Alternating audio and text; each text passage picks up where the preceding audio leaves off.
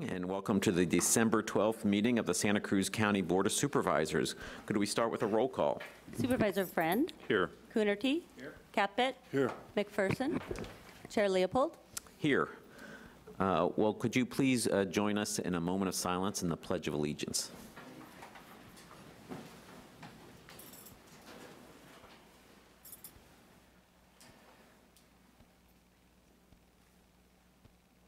I pledge allegiance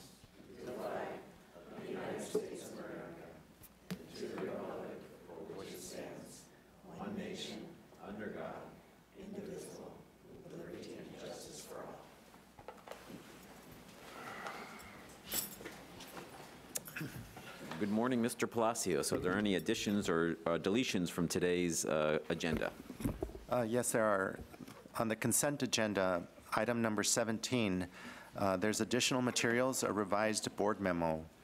On on item number 20, uh, there's a correction. The item should read, approve the appointment of David Hermosillo to the Emergency Medical Care Commission. On item 33, there's a correction. The item should read, adopt a resolution.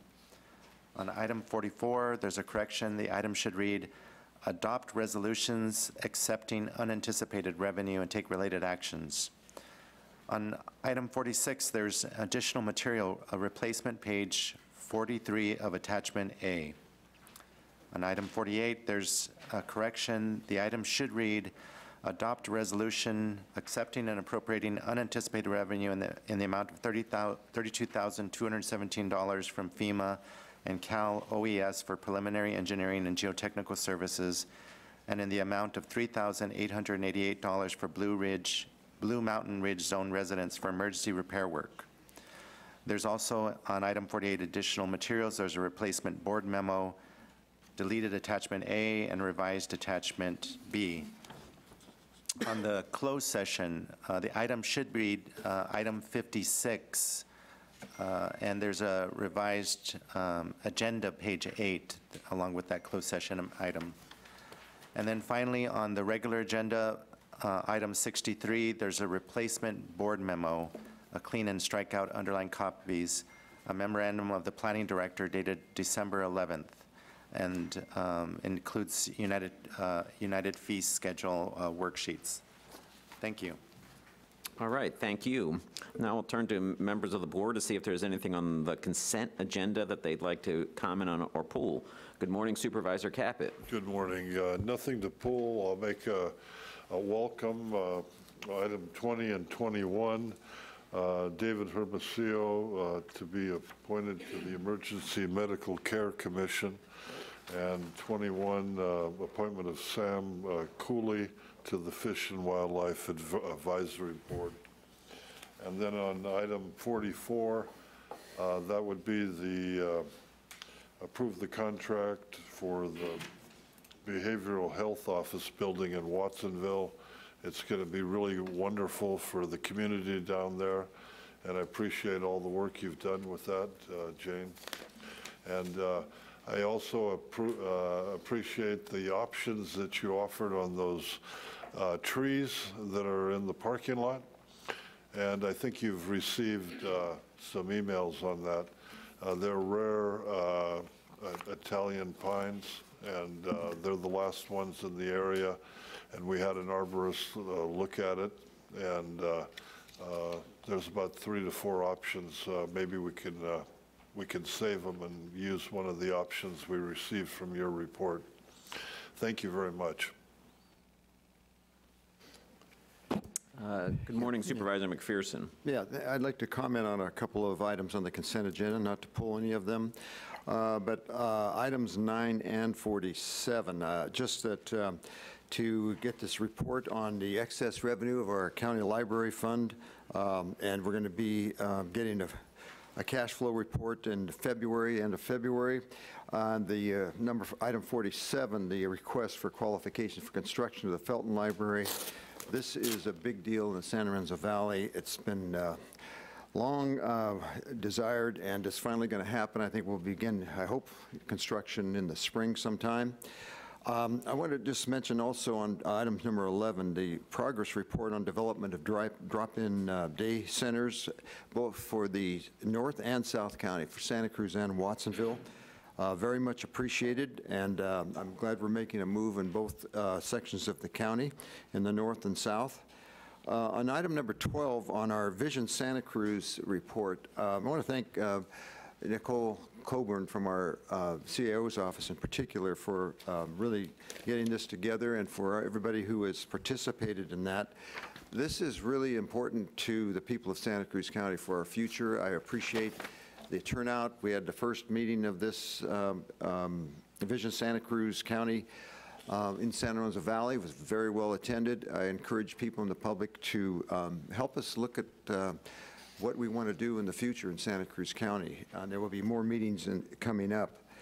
On item 23, uh, the public, um, in the aftermath of the Bear Fire up in San Lorenzo Valley, uh, there's a- a measure here, or a- an item here to um, waive the landfill fees uh, for victims um, of the Bear Creek Fire so they can have uh, free access fee. I would like to see a sunset date maybe added to that so that they could do that until the end of February. Um, So they have enough time to, uh, to do that, uh, to get the the necessary materials to the uh, landfill. And um, there's um, also on um, the consent agenda on items 45, 49, and 50, these are items all uh, relate to the uh, repairing and improving of our roads, uh, last winter's uh, storm recovery report, and hiring a consultant to update um, what with the- the county pa- pavement management um, plan, and uh, for our capital improvement plan for 19, for this, for this fiscal year, for 2017-18. Uh, This effort's going to take years, but we have a really good start. I want to compliment the Public Works Department for putting some things together. There are folks I've heard from that um, want their road fixed uh, yesterday, and uh, we just have a process and a, um, some limitations on funding of what we can do, but we do have more funding than we have in the past because of Measure D and uh, Senate Bill 1 by the state legislature. So um, I just want to compliment the Public Works Department for putting this package together. Uh, We're getting there as quickly as we can, and I think as efficiently as we can. Thank you. Thank you. Uh, Good morning and a happy Hanukkah to my colleague Supervisor Coonerty. Uh, Thank you. Thank you, Mr. Chair.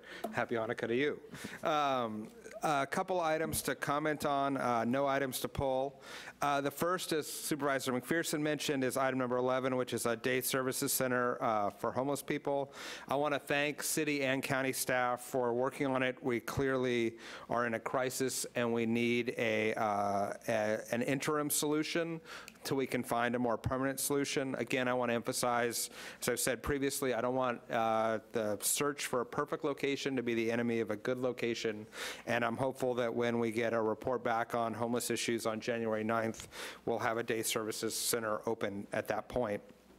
On item number 12, which is uh, our strategic plan, um, I want to, first of all, commend the staff for doing really good outreach and reaching out to many members of the community, and I want to emphasize that we got to make sure we reach out to the underserved and Spanish-speaking communities uh, to make sure that their voices are heard and go to them uh, and make sure that they, they have weigh in on the future uh, and priorities of this county. On item number 15, I want to thank uh, Watsonville Mayor Oscar Rios for connecting uh, and facilitating uh, the don- the donation of the surplus fire truck to our new, to Watsonville's new sister city in El Salvador. Uh, This is a great way to repurpose a truck uh, and uh, to deal with what would otherwise be surplus county property. On item number 24, which is our FEMA policy, I want to add additional direction that we notify our members of Congress of this so that we can uh, get their assistance when needed um, in getting um, uh, resources to deal with uh, storm damage. And then uh, on item number 31, the Whole Person Care Initiative, this is an exciting initiative, and I want to thank HSA and Director Nguyen for their leadership uh, in making this happen. And I'd like to add the additional direction that in each future quarterly report, that the numbers of enrolled clients is included, uh, and that also the geographic location where those clients reside at the time of enrollment is included. This is, this is a, gives us the ability to see where clients are being enrolled and how we can partner with other agencies uh, to increase enrollment. And then finally, on item number 33, I want to thank uh, First Five uh, Commissioner, uh, Director David Brody and Ellen Timberlake uh, from HSD for their good work on Thrive by Three. And it's, as we've said before, this is really exceeding all of our uh, expectations, and it's a really tremendous opportunity. It's nice to see the money and resources being allocated uh, to help uh, moms and, uh, and their kids and uh, young families as they, as they uh, work in the first key years of life. Thank you. Uh, Good morning Supervisor Friend, and happy Hanukkah to you as well. Thank you, Chair. I have nothing to pull, and I have nothing to comment on. Good morning. All right. Well, uh, uh, I have a number of items to speak about. There are many, many things on this agenda. I'm not going to talk about them all, but I, uh, but there are a number of them. On item number 12, which is the Vision Santa Cruz County process, I too want to commend the staff. The meeting we had in Live Oak, I thought was a very, very good meeting, um, and there was good conversation. Uh, I see some of the people who were at the meeting are here uh, today. Uh, They could also speak to that. Uh, And I also want to reiterate uh, what my colleague mentioned about ensuring that we do this process that includes all the members of the community and have specific outreach to the Spanish-speaking members of our community. And uh, uh, our staff and others are willing to help. On uh, item number uh, 29, which is the releasing the request for proposals for dental health care services, we know because we've seen the, the, the, uh, the research and the report about uh, the need for uh, great dental services in uh, Santa Cruz County, especially for people who can least afford it. Uh, We've received some great services from Dientes, who's celebrating 25 years, and I hope they'll be seriously considered as part of uh, this RFP process. Um, On item number 32, I want to thank the Health Services Agency, adding these new staff members for the Mobile Emergency Response uh, Team program is really critical to the success of all the programs. We'll be talking about a number of them uh, later on today, but the, the, the, uh, the commitment to ensuring that we have the staffing to be able to effectively run these programs will mean that uh, the- our entire county will experience a better quality of life, and it will be better services for people most in need. Uh, On item number uh, 38, uh, which is accepting over $1 million worth of funds uh, for uh, some park projects located in, uh, in the first district, I want to thank the staff for all the hard work, um, uh, members of our commission who, uh, who have supported this, and doing all the work that we can to make sure that we get these parks built. I really appreciate the outstanding effort that we've seen, so thank you very much for that. Um, On item number 39, I'm really glad to see that we're going to be uh, going out for uh, design uh, services for the Live Oak Library an- Annex. I think this is an exciting uh, development, and the conversations that have been held so far with the institutional members will will be greatly um, enhanced by seeing some designs and being able to talk to the community about it. So I'm very excited. Um, On item number 41, I'm glad to see that we're moving forward with a pre-development loan to Mid-Penn Housing for the 17th and Capitola Road. Um, There's a lot of work that still needs to be done on that project, but um, the- one of the things that people told us they wanted to see is they wanted to see affordable housing at that site, and I'm glad that we've, we're, we are negotiating with a, a a uh, partner who knows how to do that well. So thank you for your work. On item number 49, which is the uh, agreement for the county pavement management uh, program, uh, this is going to be a a really key document for us. It it always is a key document for us, Um, but the landscape has changed um, with the introduction of the Measure D funds, the SB1 funds, um, the commitment that this board made to add a million dollars uh, to our road programs. And I think when this report comes back and we have the presentation, we need to take a look at the designations we've already made for uh, the- uh, some of these uh, funds, especially it relates to the storm damage, um, and have some information about how these additional funds will help us with uh, uh, changing the known backlog that we have of projects. I- think it's, good- we- we're in a new era with, uh, with our road funding, and we have to treat it that way. Um, I think that's the last item. So now I will look to see if there are members of the public who would like to comment on consent items. Can please come forward, tell us uh, which item you're commenting on. Gary Richard Arnold, 22 and 24. Um, We just gave a pledge of allegiance to uh, a country indivisible, and I believe that we should end race-based commissions. As you can see from sitting up there, the audience, we have people from every race here, and I believe it's detrimental uh, to equality, it's detrimental to the community integrating, and we see each other as, as individuals, not as races. So I wish you would end these race-based commissions. On 24, um, There's prejud- prejudicial application of services. For instance, in the Moran Lagoon over there, there are trees that are thinned and trimmed and taken down to about 60% to protect some residences there.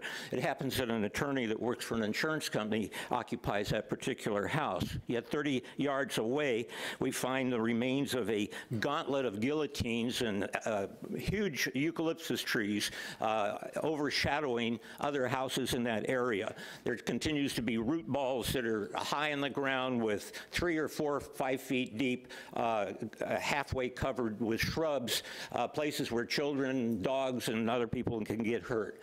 Um, I believe it's uh, the repetition of those trees falling on houses and even the own, uh, your own uh, construction of bathrooms there has been not misfeasance but malfeasance because anybody can look at those trees, see the three-foot roots uh, planted in landfill from the harbor on a slanted cliff is dangerous, and any arborist that approves those, you should fire him. Thank you. Good morning. Good morning, Becky Steinbruner, resident of Aptos Hills. I would like to pull item number 11 and put that on the regular agenda for discussion because I read that your board is considering declaring a local state of emergency, and I think that needs to be discussed more publicly. I'll move along because my time is moving. Um, I also want to um, point out that in number nine, regarding the library funding, um, I, I'm confused that we now have a $4.5 million excess in our library fund. And not long ago, when um, Measure S was being campaigned, it seemed like we were in dire straits and things were going to get shut down if it didn't get passed. Related, I want to point out, item number 13 allow- changes code to allow philanthropic naming of libraries. And again, this is another fundraising tactic that um, I'm confused by if the libraries are in such poor state of, um, in such excellent state of, of financial health. Number 39, also related, is the uh, Live Oak Library Annex, which I think is deceptive to use um, that term when in the description of the initial contract going out to MIG, it described this facility as having a very small collection of books. I think it's uh, disingenuous to use Measure S funds for this building. that is really a community center, and I'm not opposed to building that, um, that facility next to the Boys and Girls Club of Live Oak and the Simpkins Swim Center. But let's be honest here about what it is and um, proportionally use Measure S funds, if at all, for its building. I also protest the use of MIG. They pushed through the Aptos Village Plan. They were the ones that handled the recent Live Oak, um, not Live Oak, but Pleasure Point Community Meeting, and that was nothing but a railroad job. It was incredible. Um, Item number 15, I'm really glad that the rescue unit, not the engine, will be um, given to Watsonville and repaired and sent to El Salvador. And I want to make sure that the excess engine 3912 funds, when that's auctioned off, do indeed go to the county fire fund and not some other use.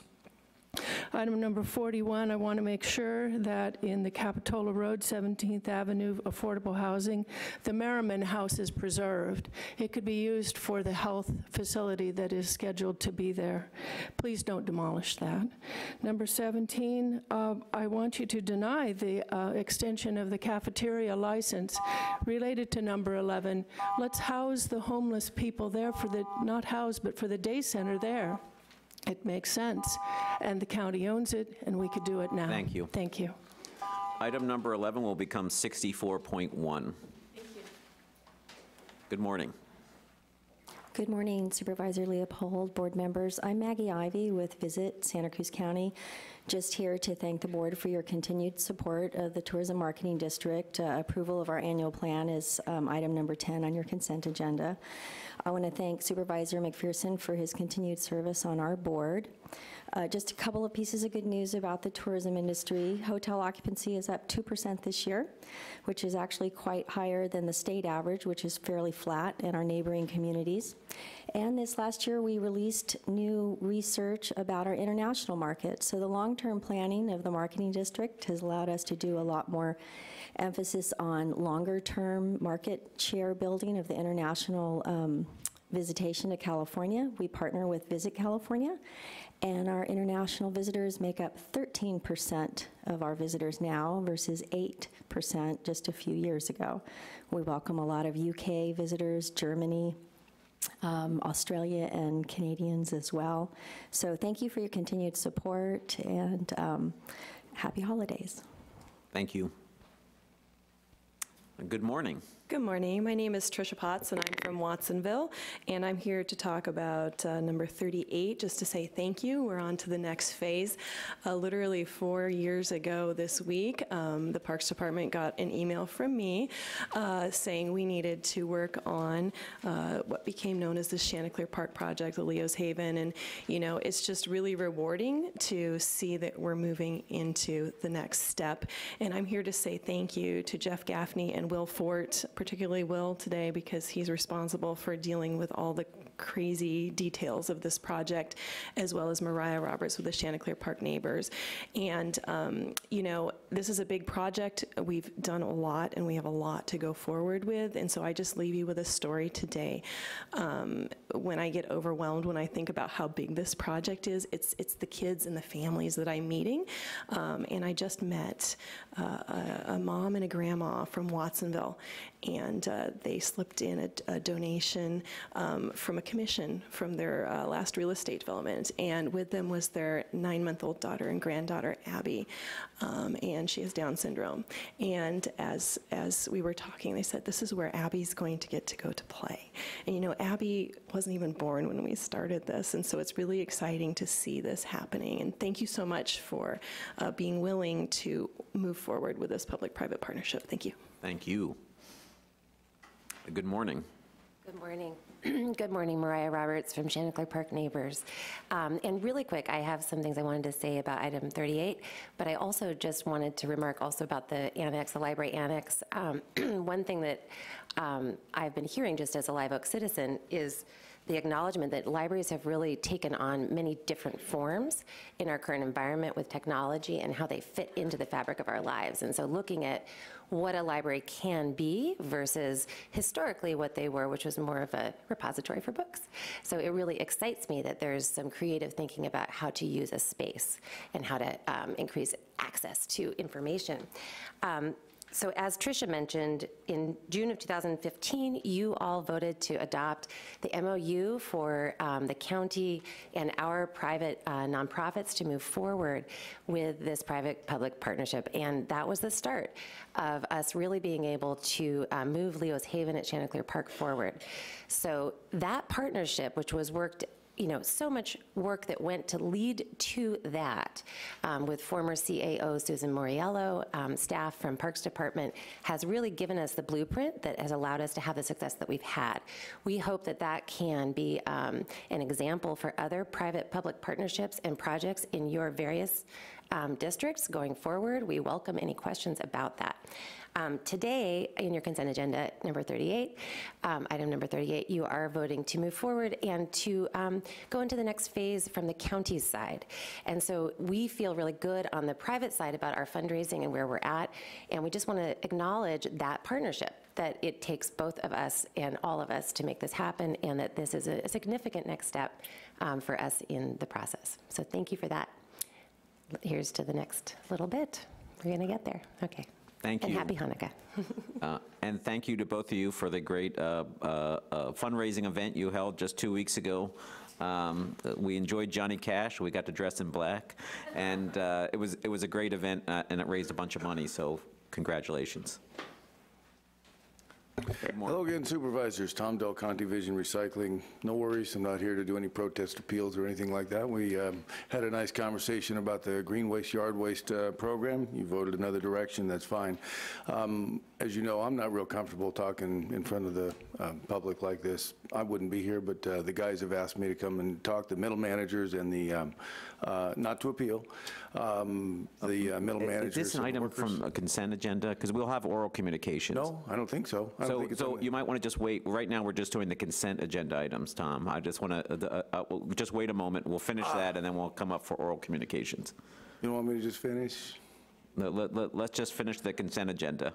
Might give me another shot to relax a little bit, right? Yeah. These are items on the consent agenda. And I'm Leslie Meehan from the Blue Mountain Ridge in the Santa Cruz Mountains about consent item 48. I just wanted to say thank you for um, Bruce's staff people, Jenny, we just met with Jenny and Marcella from Public Works. We're in the first steps of being able to form a sub-CSA in CSA 23 to uh, repair our road from the storms and to be part of the county infrastructure of maintaining our road. And it is such a relief to us to be able to do that. And we have a, an arrangement with the Santa Cruz County Bank that um, they're working with the county to help us fund repairs. Um, so we don't have to spend $50,000 out of pocket right now. And just the opportunity to do that, we were just thanking Jenny and Marcella for um, being here because this is the county serving its um, people. So thank you. Thank you. Is there anyone else about items on the consent agenda? Number nine, library funds. The young woman who spoke recent, just before me, um, was talking about libraries and traditionally what they've been and what they could be with technology. I object to making libraries Wi-Fi hotspots because it's a biological health hazard and also a problem for people who already have disabilities, functional impairment due to microwave exposure, especially damaging to children. Ms. And- if we're going to get the same uh, conversation Excuse me, during I am uh, addressing the library Item nine is about funding. That's It's about what I'm funding of the talking about. So funding of the libraries, funding should not go to more technology in the libraries. It should go to making libraries safe place to read that are not microwaved. And I've given you this before. Wi-Fi in the library, convenience or health hazard. And all the libraries now are toxic places where this detection meter is just like in here. You can't go to a place where you're not getting assaulted involuntarily and harmed by microwaves. I've given you this before. It shows brain cell damage from microwaves. Libraries should be safe places. This technology that is documented to be dangerous really needs to be removed. I help pay for libraries with my taxes. I rarely go in because I don't feel good, and it's hard for me to come here, but I feel it's my public citizen responsibility to try to give you direction and alert the public to the facts of the harm of wireless microwave technology. Thank you. Thank you. Other items on the consent agenda? You don't get a second bite at the apple. Um, You'll I have to have wait till, you'll point have of- to wait till oral Is this being recorded because there's no video of the meetings proceedings on the screen? I just want to make sure it's being recorded, that's all. Thank you. I'm assuming it's being recorded. Someone will tell me if it's, it's not being recorded. Seeing no one else for the consent agenda, I'll bring it back to our board for action. There were additional directions on item number 23 and 31. Um, Is that clear to the, to the- to the clerk? 31 was about the, the, uh, having a uh, sunset on the, on the waiver of fees at, at the end of February. And on item number 23, I And won't. 24 as well. And 24 was just notifying our members of Congress. Oh, yeah, sorry. Thank you for uh, that correction. So I'll move the consent agenda as amended.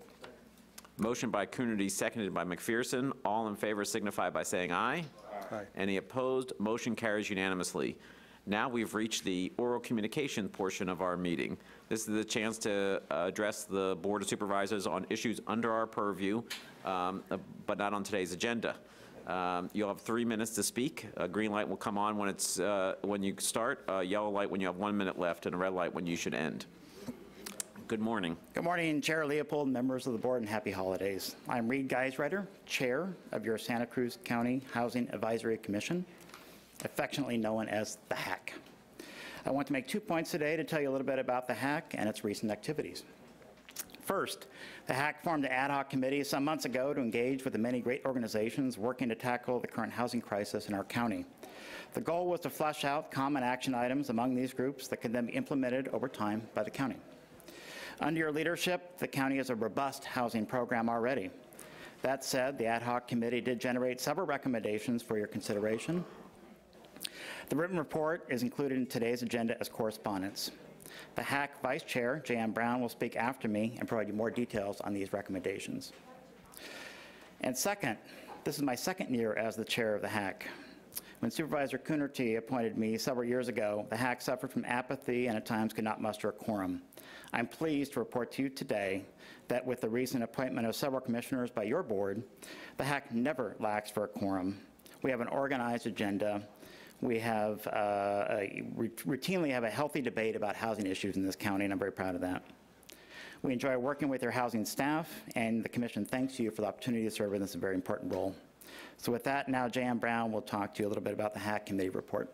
Thank you very much. Thank you. Good morning. Good morning. Thank you, Reed, Chair Leopold, members of the board. Um, The HACS Ad Hoc Committee spent the better part of a year gathering input from public agencies and private organizations seeking solutions to the housing crisis. The goal of gathering that input from more than a dozen stakeholders was to collect information about their work and to hear suggestions about potential action by the county.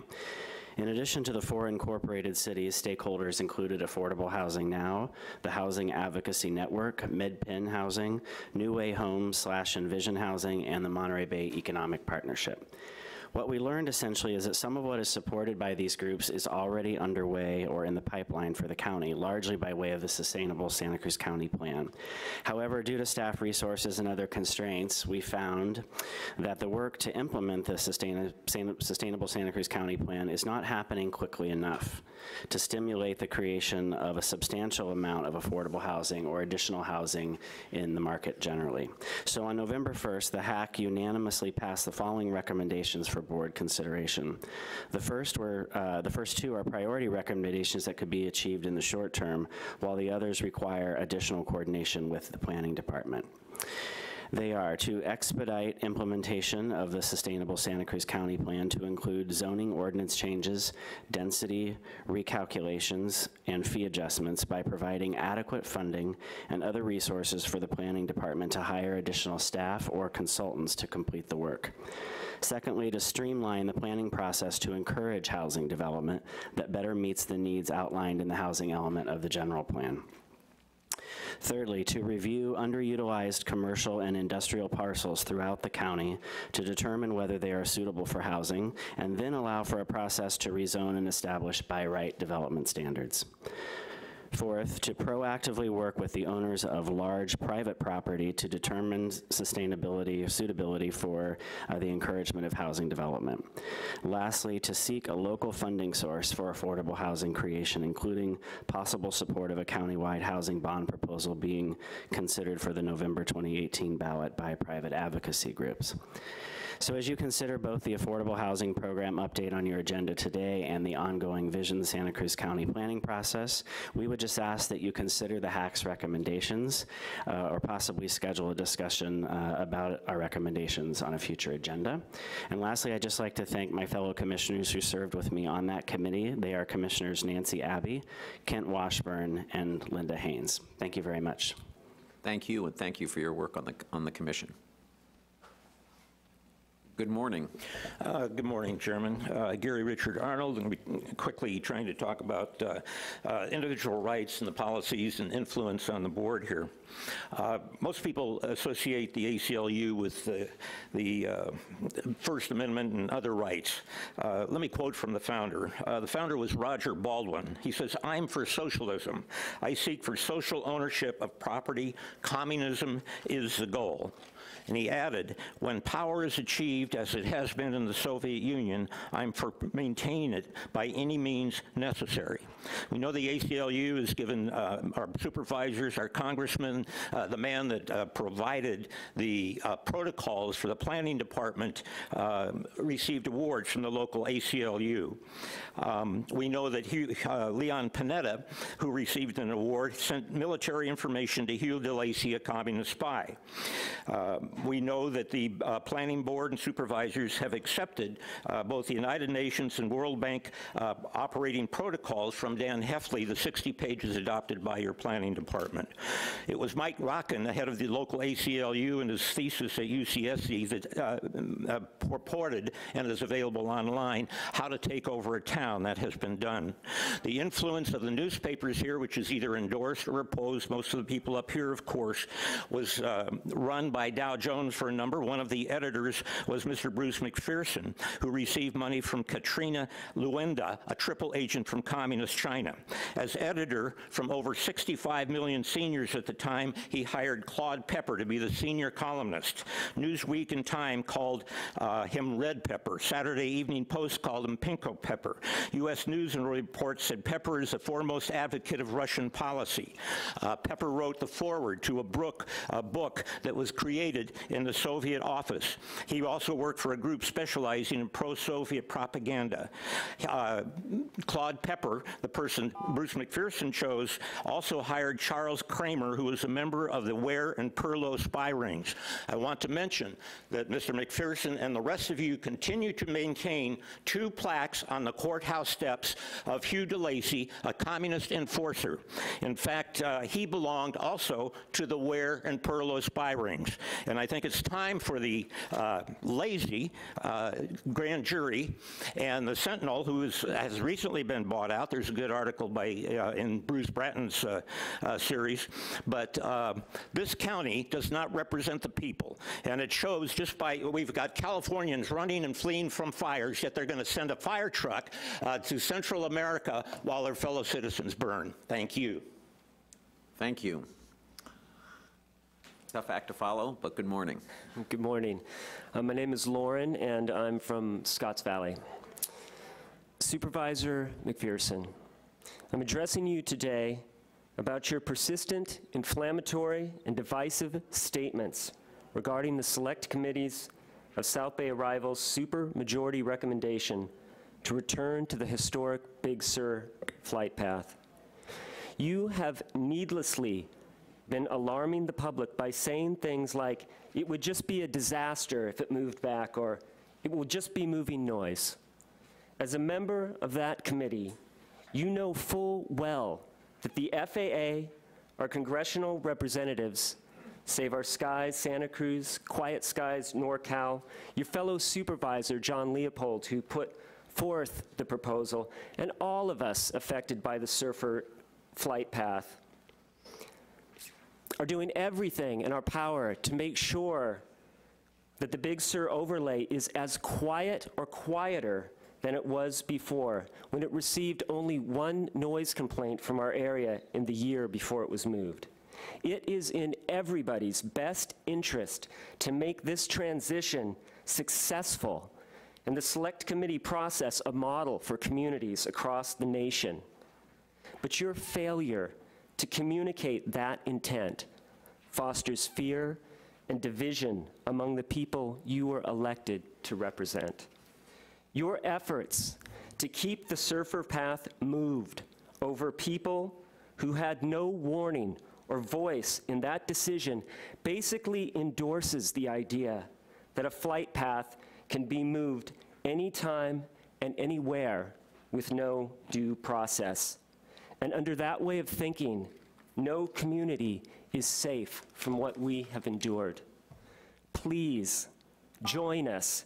Help make this work. Make it better than it was before. Make this a proud accomplishment in your long and impressive career, and not a sad footnote in the memory of a community that felt you let them down.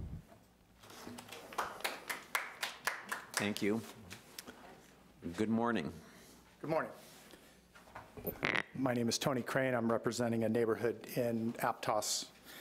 Um, I'm here to formally and publicly protest uh, what we consider an egregious abuse of public trust um, in the implementation of the second story program in our neighborhood uh, and the placement of a facility in that neighborhood. Uh, I want to make it clear that I'm not here to protest the program itself. Uh, It serves uh, a needy community. Uh, However, I am here to protest um, the unethical and incompetent process by which the facility was chosen. Um, We've provided irrefutable evidence of this. Uh, Supervisor Friend is in receipt of some of the information that we have. Um, And so I'm hoping that all of you are aware of what's gone on. I mean, that was our way of trying to bring it to the board uh, in advance. Um, But uh, it's irrefutable evidence of a calculated plan to misrepresent the intent and scope of the facility, uh, given absolute misrepresentations of the truth uh, to the public um, in order to uh, circumvent the process that needed to be handled, a public hearing, um, you know, mitigated negative declarations, all those things that are associated with putting a commercial facility um, in any area, uh, let alone a residential area. Um, So I'm, I'm hoping, again, that you guys have received that information and that you're taking it very seriously because there are, we are alleging serious violations of the public trust, um, certainly unethical, possibly illegal. Um, That's to be determined. But uh, I just hope that you guys do understand that um, we're, we're serious about this um, and that you will get the information from uh, Mr. Friend, or I can provide it to each of you so that you can make an informed decision on what is to happen with this facility in the future. Uh, They've recently just requested a change to the uh, description of the program to fit it in under the misrepresentations that have been put forth to the public, uh, but it has allowed them to begin operations by misrepresenting things.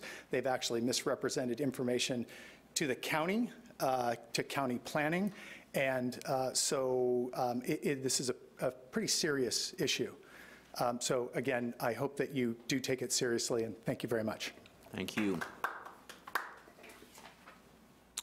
Thank you for your patience, uh, Mr. Del Conte. Uh, uh, Glad to have you back up here. You bet. Um, As I said, this is kind of the last place I want to be today, but um, the workers and the middle managers have asked me to come and just say a word and try to get uh, some straightness on, on their pride and what they do on the, on the properties. Um, You may know that we have uh, had filed an appeal. We have no they want me to go through with that, I don't want to, and I think that would be futile, so we're not going to go through with the appeal, so that's something you may need to know. But they did want me to come and express, um, some of the pictures that were thrown up are from years ago. Um, They realize that they're not a, a perfect bunch, but the workers that work in this, in, in this region and the people of this community that work on the landfill on behalf of the recycling facilities are extraordinary individuals. They're, they're great people. Um, They have a, um, a lot of pride. They were offended at uh, some of the pictures. They felt that, um, you know, over 12 years, cherry-picking pictures from long ago to put up. Some of them were more recent, and they recognize that. They take responsibility. They, they wish, or we wish, that there would have been more than a minute to explain some of those items, but uh, nonetheless, they are what they are. But I just want to speak on behalf of the, the extraordinary people that are in production and middle management that you have working, and we're forwarding those to Keith Day, those individuals, all of them, we're making all of those available. But, um, you know, they felt that, uh, let me make sure I'm not missing anything from my notes. Um, uh, They're a great group of conscientious people, fortunate to have them here. I've been fortunate enough to work with them.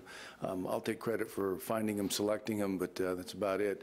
Um, The, um, David, um, we have a David that works up at uh, Ben Lomond and another David that works out at um, um, uh, Buena Vista. They're very, they have a lot of pride in what they do. um, And uh, um, The safety record is bared out, is borne by the uh, state of California uh, that has to do with um, the workers' comp. Our, their safety record, our safety record is 29% better than the industry average, and just, they just wanted to point that out. And I wanted to point some of that out as well, but I wouldn't be here if it was just me. They, they asked me to come. Um, So please don't believe all the things that you saw. Um, Come and see them. David and David have asked me to ask you, come see the facility before they close it down, and they'll, we'll close it down nicely. But it is a good facility and something that you should be proud of. Thank you. Thank you. Good morning. Good morning, uh, members of the board. I'm here to comment on an item on the written correspondence list. I believe I'm in the right place. Uh, My name is David Brody. I'm the Executive Director of First Five Santa Cruz County. I'm here this morning to thank the board and in particular Chair Leopold uh, for issuing the proclamation declaring January 2018 Positive Parenting Awareness Month. Uh, This proclamation, as well as recent actions of this board, taken as early as this morning, demonstrate that our county and each of you fully understands the incredibly important role of parenting and caregiving and what it plays and how it plays in supporting not just the well-being of our children, but our entire community. It's for that reason that we are incredibly proud at First Five to serve as the backbone organization of the Triple P Positive Parenting Program, uh, an international, evidence-based program that with funding from First Five, as well as the county through your Health Services Agency, has helped literally thousands of parents improve their parenting practices, reduce their stress and anxiety, and most importantly, build positive, healthy relationship with their kids, which I know each one of you can very much appreciate. Um, This board will remember that uh, about a year ago, First Five issued a five-year report on the Triple P program. And just as a refresher, I've brought executive summaries uh, for your perusal uh, in your free time. We like to always remind folks of the important work that we're doing together. Um, Combined with other parenting programs uh, and supports in this county, like the Parent Leadership Committee in Live Oak, an organic formation of parent leaders, to the array of home visiting programs that we have brought to bear, in no small part because of the work of this board. Um, Our county has created in Santa Cruz an environment for parents that doesn't just talk the talk, but literally walks the walk. And we are greatly appreciative to all of you for that. On behalf of the First Five Santa Cruz County Commission, I ask that you, of course, maintain that appropriate focus on the importance of positive parenting, and that you once again, and thank you for once again recognizing January 2018 as Positive Parenting Awareness Month. Thank you very much. Thank you, and thank you for all your work and your partnership. Thanks. Good morning. Good morning, Becky Steinbruner, resident of Aptos Hills. I have an- a request I'll make again, and it's a very simple one, that your board have the binder of supporting materials for issues you're discussing here in the back of the room. There's now a sign saying you can go to the, the board's, uh, clerk of the board's office and get them. But then you have to leave the room and you don't hear what's being said at a time when you want to hear what's being said. It's a simple thing. Just move the binder of materials that support what you're talking about and what the public needs to be informed about here so we can read last-minute things, please. I want to uh, let you know that I attended the recent um, scoping, CEQA scoping session at UCSC regarding their proposed uh, Student Housing West project. I was appalled to see that there were only four members of the public there. It was very difficult to find. I always get lost at UCSC. There were no signs. And um, I really would like to ask this board to reach out to UCSC to do better outreach within the community, um, have community meetings for their scoping meetings for whatever the next step in the CEQA process is, have them in, uh, within the community, not just up at UCSC. And there were no students there either. Um, My next issue is discussion about what I saw as a very odd parliamentary procedure during last week's hosted rental. I have never seen that there are two motions allowed on the floor at the same time. I have never seen that the second motion introduced is voted on first and is allowed to kill the first motion. I know your board uses a different set of rules, not Robert's rules, and I couldn't remember what they were to look them up, but I would like some explanation of that. I also want to uh, point out that uh, following Mr. Del Conte's um, discussion with you, that Vision Recycling's bid was lowest. It was the lowest bid by $211,000. Public Works Director, Mr. Presley, has told me when contracts were taken for the Aptos Village project, they had to take the San Luis Obispo contractor because the county has to take the lowest bid. But that isn't what happened with Vision Recycling and Keith Day. And I think it was pretty interesting that the county public works staff delayed making a decision before your board until the 11th hour, when you could no longer kick the can down the road.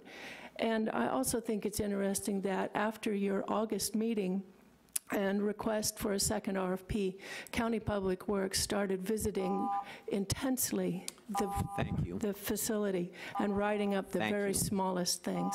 Thank you. Good morning. Good morning, Marilyn Garrett, part of Wireless Radiation Alert Network. I am very appreciative for people who come and speak at this meeting, and I would encourage people who are watching this to do the same, because I think all of you need to see and hear from the public directly.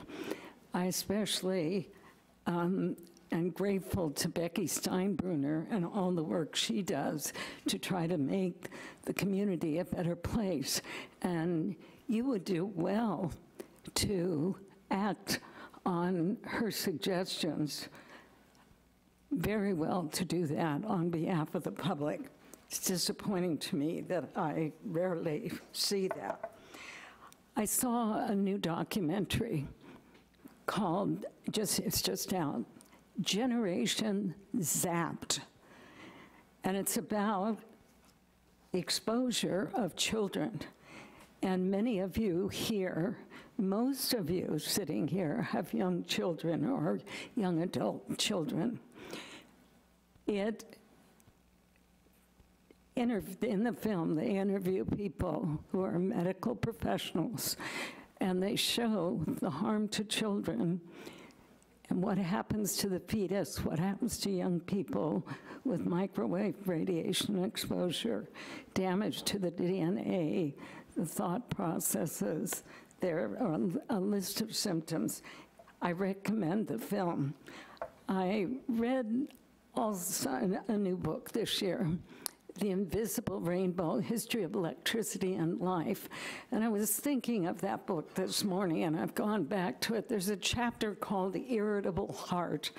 One of the symptoms Also listed on this graph that you have received neurobehavior symptoms near cell towers, uh, radiation from the radiation fatigue, sleep disturbances, et cetera. One of them is cardiovascular problems. And what we're seeing is heart strokes and heart attacks in younger and younger people. The signaling of the heart is interfered with.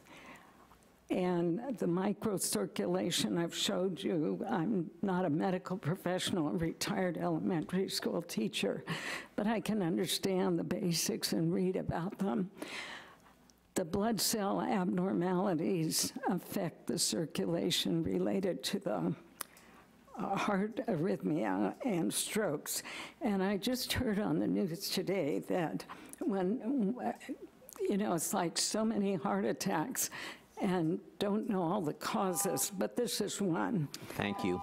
that Ed Lee, the mayor of San Francisco, died unexpectedly of a heart Thank you. attack today. Is there anyone else who'd like to address us? Good morning. Good morning, Board of Supervisors. Been a while. Uh, I'm Michael Duffy from 2613 Monterey Avenue in Soquel. And uh, lived there all my life, basically. And, uh, and now my neighbor at 2611 Could you use the microphone so everybody could hear you? Oh, okay. Now with the, the 2611, which my neighbors, which was my grandparents' home, have decided that they want to build a fence. You know, that song, Don't Fence Me In.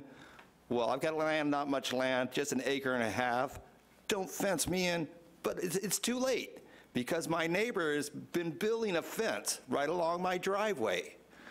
So I can't, uh, can't go out my front driveway without seeing a fence that surrounds my property, which ruins my, my view, and also encroaches upon the creek, which is a riparian corridor.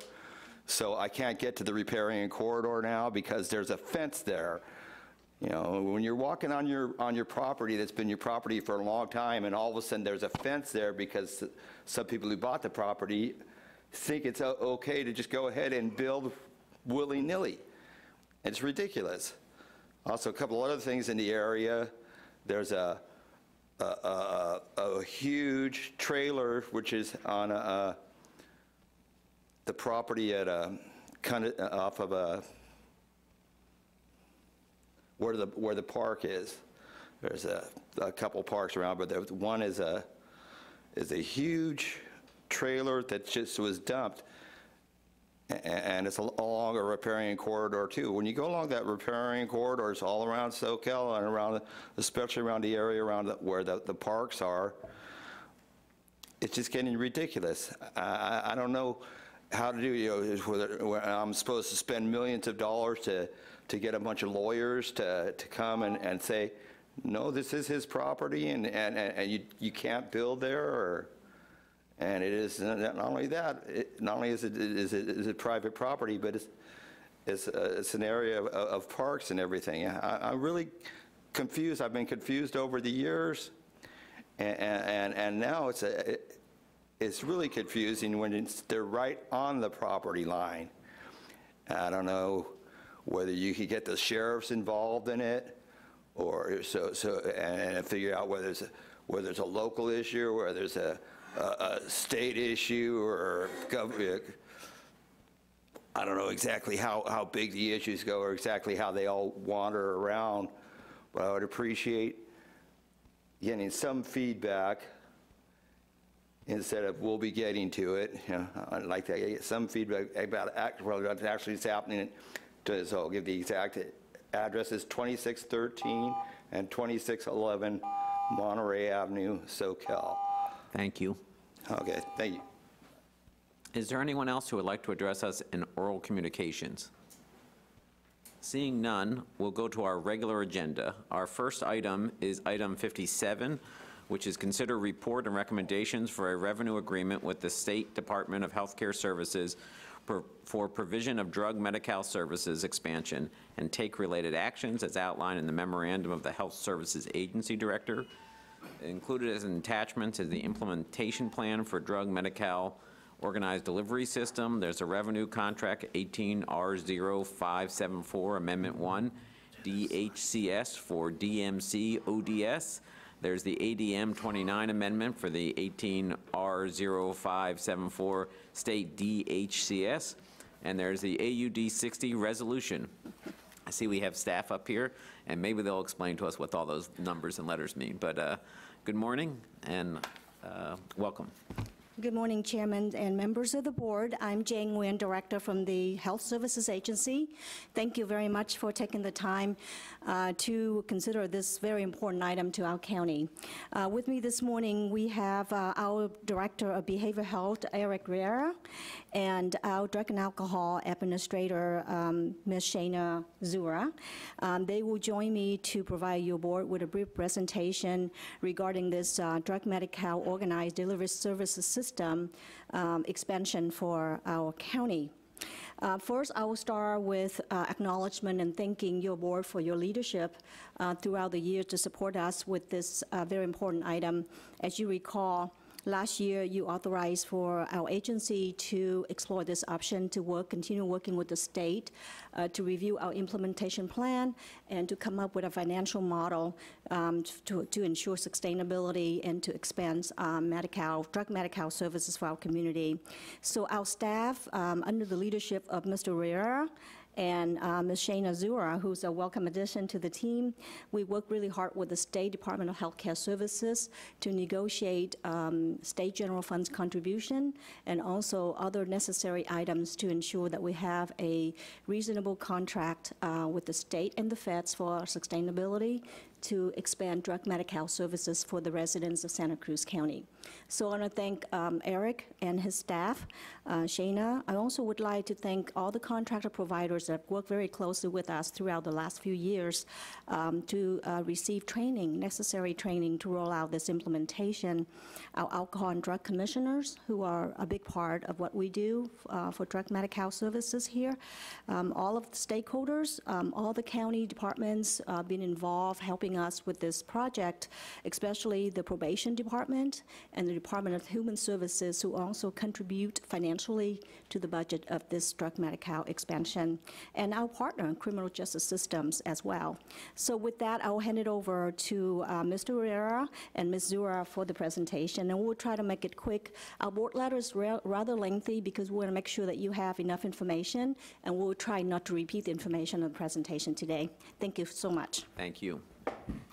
Good morning. I'd just like to provide a couple of introductory comments. Again, I want to express my appreciation to the board, to Jane and her staff, as well as to Shana and her staff, who have been working tirelessly over the last couple of years to move this project forward. We've been engaged in, in very long negotiations with the state and with the federal government around the implementation of this program. And over the last couple of years, have experienced a number of delays, um, one of which was due to negotiations around funding, um, particularly future funding for the program, and then new requirements that the state and federal government put on the county in terms of our implementation plan and new requirements that we had to meet. So I'm, I'm very happy that we're at this point. Um, It gives us a unique opportunity to expand these services in the community, which is a critical need that's been identified for a long time. So again, my appreciation to everyone involved in this project. I think, I think we have a, a very positive opportunity here before us today. And with that, I'm going to turn it over to Shana, who's going to go over a brief presentation for the board. Good morning, supervisors. Thank you for the opportunity to deliver this information to you. So I'm just going to walk you through You an might want to make sure that your microphone is on. Is the green light at the bottom pushed? Yeah, It seems to be. Yeah, is that better? Yeah, you- i- if you can get closer to the microphone, people will definitely hear you. How's that? Great. Perfect. Good morning. Um, So I wanted to just take a few minutes to walk you through the overview of our drug Medi-Cal delivery system. Um, So DMC ODS, Drug Medi-Cal Organized Delivery System, is defined as a pilot program to test a new paradigm for the organized delivery of healthcare services for Medicaid-eligible individuals with substance use disorder. So what this does is it opens up the opportunity for anybody who has Medi-Cal and has a substance use disorder that meets medical criteria to get expanded service access.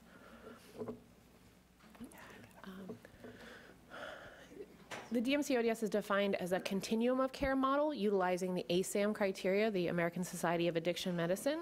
It provides increased administrative oversight to our system. It also improves care and efficiency through additional utilization controls in partnership with the state. Um, it does require the use of evidence-based interventions, which many of our providers are well-versed in and already providing, but it will expand that opportunity, um, and increase coordination with other health systems. So we're assuring that we're providing holistic care to each and every individual with a substance use disorder in our community. Uh, California is the first state to gain federal approval for service expansion under the Drug Medi-Cal 2020 waiver. Um, and each county has been invited by the state to consider participation and opt into this program. Um, 40 counties have submitted programmatic and fiscal implementation plans. As of December 1st, only seven counties have signed an agreement with the state, um, so we are in the beginning waves of this process. Uh, The program does become an entitlement, so we want to make sure the board is aware of that in terms of just potential risks in opting in. Um, Our budget, which is currently having a deficit in year two of about $1 million, is based on approximately an 100% uh, increase in client served, so we want to double the folks that we're serving. Um, And that deficit increase or decreases if that projection is higher or lower, um, and uh, is potentially impacted by changes on a federal level. Um, In front of you, you have a continuum of care model, which sort of exemplifies how folks can move through the system. Um, We offer early intervention as well as two levels of outpatient services, um, outpatient and intensive outpatient services, which are similar in service delivery but different in dosage. So folks who need more intensive care would go into the intensive model. And then we also have uh, our residential services, which in the drug Medi-Cal model are really used as crisis stabilization for folks who are in imminent danger. The understanding is that utilizing the ASAM assessment along the way, we can stay continually in tune with where the person is and what their specific needs are and move them into either higher or lower care depending on their needs at that given time. Um, So the American Society of Addiction Medicine criteria provides us guidance for both the beneficiary as well as the provider. So the beneficiary, in coming into the system, has an initial assessment where we determine what their need is, and we place them with a provider. The providers have also gone through drug Medi-Cal certification processes, which is quite rigorous, and have been determined to uh, be appropriate to provide various levels of care, so that we make sure that we're matching appropriately the individual with the provider that can best serve them. Um, So as I said, the assessment culminates in a matching between the beneficiary's individual need and the level of care offered by that provider. Um, And the beneficiary is reassessed throughout the treatment episode, so we're not necessarily just placing them and saying you're going to do X number of prescribed days of treatment, but uh, on a weekly basis, the provider will be continually reassessing that person to assure that they're still meeting their level of care need, and if they're not meeting that need, to move them to higher or lower care appropriately. Um, It also provides us some specific uh, array services, including early intervention and prevention. Uh, We will have outpatient and intensive outpatient treatment, some expansion in residential treatment, um, narcotic treatment programs, uh, withdrawal management, which is formerly known as detox services, uh, physician consultation, case management, recovery services, and 24-hour access to treatment resources. So it is a full spectrum. Um, We will be able to expand our service capacity significantly in Santa Cruz by opting into the waiver. Um, It will improve our quality of service through those administrative oversights. Uh, We will provide expansion of medication-assisted treatment for folks particularly struggling with the opioid disorder that is uh, currently an epidemic. Um, We will have more integrated care in which the providers are communicating with each other in- in new ways and making sure that they're working as a a coordinated network. And uh, it also is in support of the strategic plan that has been adopted by the board. Um, It gives us the opportunity to renegotiate rates with our service providers to assure that they have the, um, the necessary resources to meet this increased level of rigor in our system. Um, Again, it shares best practice integration, uh, stronger collaborations across our provider network, really coming to the table and working together, um, regardless of what provider that person has initially accessed care through. Um, And it increases our accountability to the state through those oversights. We have built the system so that there are three primary gates, three ways that folks in our community can access services. One is through our HSA Access team, which historically has primarily focused on mental health services, but will be expanding with Drug Medi-Cal to be the uh, county primary gate to substance use disorder services. Each of our providers will also serve as a gate so that anybody who's in need of services can come to the access team or can go directly to the provider who can then assess them and either provide them the level of care or if they don't offer that level of care, refer them somewhere else in the network to get that care. Um, and then we also have the HSA service coordinators who are um, brokering those referral processes primarily through our partners with criminal justice and uh, child welfare services.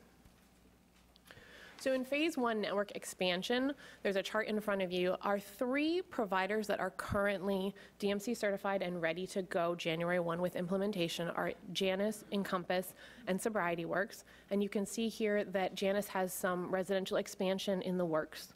Um, also looking at the potential for expanded residential services, and um, all of the providers can expand greatly with their intensive outpatient and outpatient services uh, to expand with the need without a prescribed cap.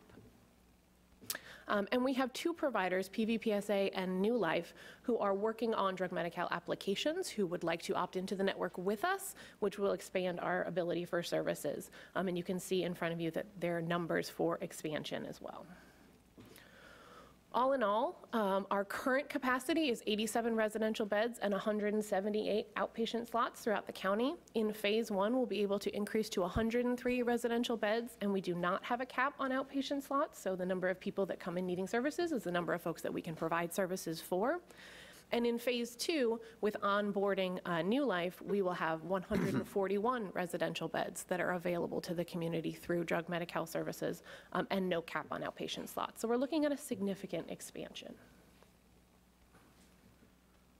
Um, all in all, I think that there are uh, some incredible benefits to our community and, and hope that you have all of your questions answered. Okay, thank you very much. Now I'll see if members of uh, the board have any questions. Supervisor Coonerty. Sure. Well, first, thank you for your work. You've had to run a gauntlet of, uh, of federal and state uh, processing requirements, and I appreciate it. And clearly, this is a huge need in our community and um, can be a real benefit.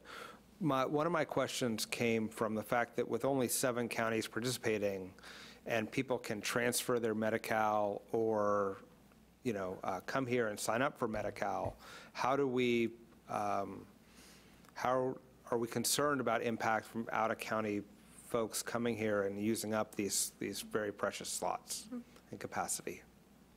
Yes, um, that's a very valid question. Thank you for asking. So under the state's rule, um, counties who accepted a contract with the state um, have, would have options to serve out of, out of county Medi-Cal beneficiary. Uh, we uh, could either serve those clients through our contractor providers, or we would uh, return those um, people back to their county of origin. Um, due to um, the limited um, size of our county, and this is a a new initiative to expand services, we realize that our capacity is very limited. We want us to be very successful. We want to focus our service for the residents of Santa Cruz County at this time only. So our um, approach would be con to contact those uh, counties where those people come from to, to return them back to the county and refer them back to their county of origin for services. So if they wanted to transfer their Medi-Cal to this county, we could, we have an ability to say no, and, and if, and if they arrive here and they're not signed up for Medi-Cal and want to sign up for Medi-Cal, do we have an ability to, to see how long they've been here, or to, to to figure out some sort of way to establish residency? Um, HSA is not, does not have the authority to sign up or not sign up people for Medi-Cal. That would be HSD responsibility. But I think um, under the rules, anyone uh, who like to reside in our county, they would have the ability to apply for it, and it's, it's the county's process to, to go through to determine eligibility. Okay, and is there, is there a local preference that we can, we can use in that process? Um, Because our department is not in charge of Medi-Cal eligibility, so I cannot answer that question because I don't understand the rules very well. We have to be careful with federal and state rules on Medi-Cal eligibility. Okay. One thing that I can add is if a beneficiary has Medi-Cal services in another county and wishes to transfer them in, it's quite a complex and rigorous process, and it takes a long time. Um, We're looking at a minimum of 60 to 90 days. And so often, the person will be better served if we were to get in touch with their county of origin and talk to them about potential resources that they would be matched with services quicker uh, going that route than to try to transfer their, their Medi-Cal into Santa Cruz County. Okay, great. Other questions? Supervisor McPherson. Yeah, I just want to say congratulations. Um, This has been um, a missing link for substance abuse treatment that we've needed to address uh, for Medi-Cal patients for a long, long time. And I know it's taken a lot of work, as you've mentioned. I just want to say congratulations.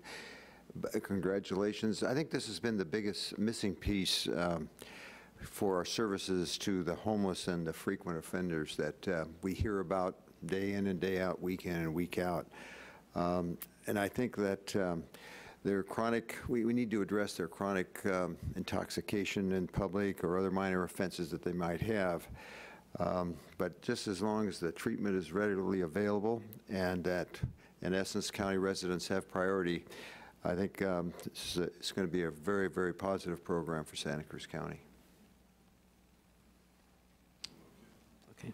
Uh, I I just had a couple questions that I wanted to ask. Um, In the, uh, uh, the cover letter the- um, to this, um, it it points out that if the courts ordered a person to a 90-day residential treatment and that person does not meet ASAM criteria, then residential service providers would not be able to claim and receive federal funds. Thus, they might decline accepting that person.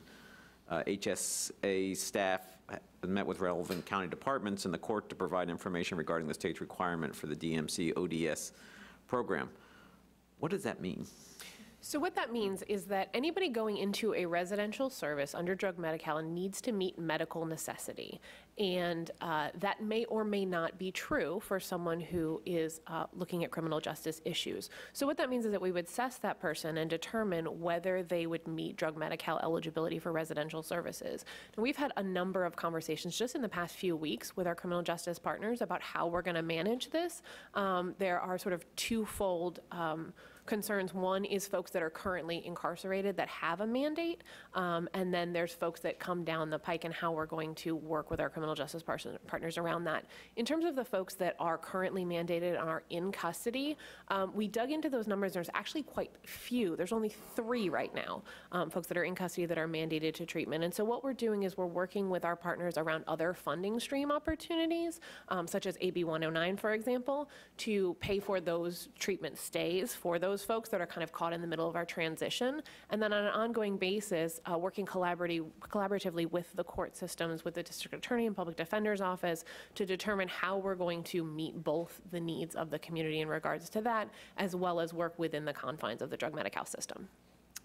Okay, th- thank you. I appreciate that. I mean, I think it's a really important uh, piece. Uh, I think that the, the board member, uh, both, uh, I- the, the one category in the letter that said excitement with precautions um, is probably the way I I feel. I think this is very exciting. Um, And I think it's, uh, we know that the substance use disorder problem in our community is great. Um, We've, uh, we've done a number of different things to, um, uh, to try to make it better. We hear from constituents uh, about these concerns, and they manifest themselves uh, um, in public in, um, in ways that are really challenging for the community. So I'm really glad that we have this new program. And I also understand it, it costs uh, a lot of money. I, I, I note that when the president uh, uh, commission on opioids said declare a national emergency, the, the president stopped short of declaring something that would actually provide more funding. Um, And that just, just shows you something about um, uh, compassion, um, is to acknowledge a problem but not provide resources, uh, is not, um, is not an effective way of declaring that the, that the nation has a problem. You uh, made sure to uh, make it clear to us that this is a new entitlement program. Um, And the document points out that Uh, This is federally approved until December 2020. So, um, you know, the, the, the healthcare lan- landscape at the federal level is still changing after a year of, uh, of uh, real attacks. We don't know what's going to happen with the tax bill. Um, uh, Their failure to pass children's health insurance program is not a great sign for thinking that there's a, a- an even reasonable view of healthcare at, at the national level.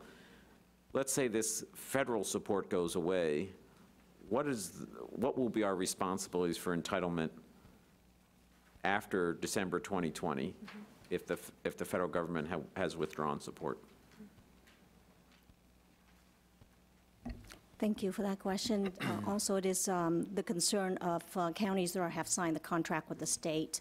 So um, I actually asked this question at the most recent CSAC meeting to the director of the health, uh, State Healthcare Services Agency.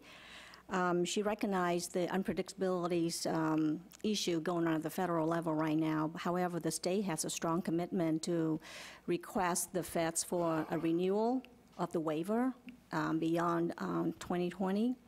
And uh, speaking with her in private and her staff in private, they basically say they would ask for a one-year extension pending um, who might be the next president or so, so that they can negotiate a better deal.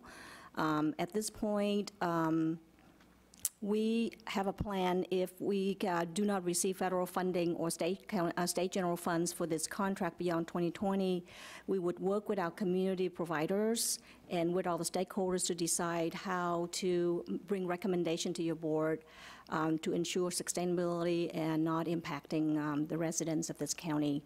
So it's, it's still unpredictable. Uh, But we do have a plan that we can get out of it. Uh, That's why we need to launch this carefully and not uh, totally expand it to the point that uh, if there's no additional funding or adequate funding, we could have a way to um, mitigate the impact. So I don't have a definite answer for you, uh, Supervisor, but uh, we do this with a lot of precautions. And that's why, as, as you noticed, there are only seven counties at this time has signed up for this contract. But I was told recently at the last state meeting that there are other 22 counties are ready to sign up by the end of this new calendar year coming up. So I think there's hope for additional counties coming on board. Yeah, uh, I just wanted to ask one last question about that. You said that we're part of this first wave. Um, There's going to, but you also talked about 40 other counties looking to do it. Um, And is the expectation that all 58 are going to do it, or um, is, uh, will most of the counties do it? So to be clear, the seven is inclusive in that 40, so it's 40 total. Yeah. The uh, counties that have submitted plans, they had a deadline uh, with the state saying, if you intend to opt into this, you must submit and have approved both your implementation and fiscal plans. And those counties all went through that process. Those Um, 40? Yes, correct, and have approved plans with the state, so they have clearance to go forward with it. Um, And my understanding is that, you know, many counties are sort of watching the counties that have already gone live to make sure that they do their due diligence in uh, creating a plan that's going to be successful. Um, But I anticipate that, yes, as Jane said, many of those counties are intending to opt in. Great. Well, I think the, the help in increasing capacity, I see some of our, our partners here in the audience, it's going to be really critical uh, because we know the need is great and we know the number of people who say that they're ready for treatment is great and our resources right now do not meet that need. And so the closer we can come to having treatment on demand, the more successful we'll be about, um, about um, helping people um, overcome substance use disorder. Chair, Um, can I just have one more question? Supervisor McPherson. Um, so, Yeah, um, this projected annual budget is over $22 million. I have, what's, do you have any idea about what the total cost, uh, we, how much we spend on substance abuse directing, uh, year in, year out? And I know this would include the human um, care services and so forth, and uh, probation department. Is there any estimate of how much we spend as a county on that? So currently, our annual budget for substance use disorder um, in uh, Mr. Riera's budget is about 6.8 or 9 million dollars per year. So we're going to go from 6.9 to 22.4.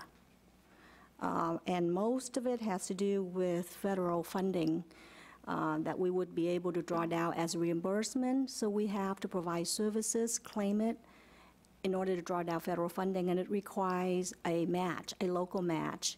And the way we come up with the local match is, of course, net county cost, and um, any uh, uh, non-federal funding, including uh, AB 109 from the probation department, and HSD CalWorks uh, dollars amount for substance use disorder, and our uh, 2011 health realignment funds that we receive uh, from the state through sales tax and vehicle license fees.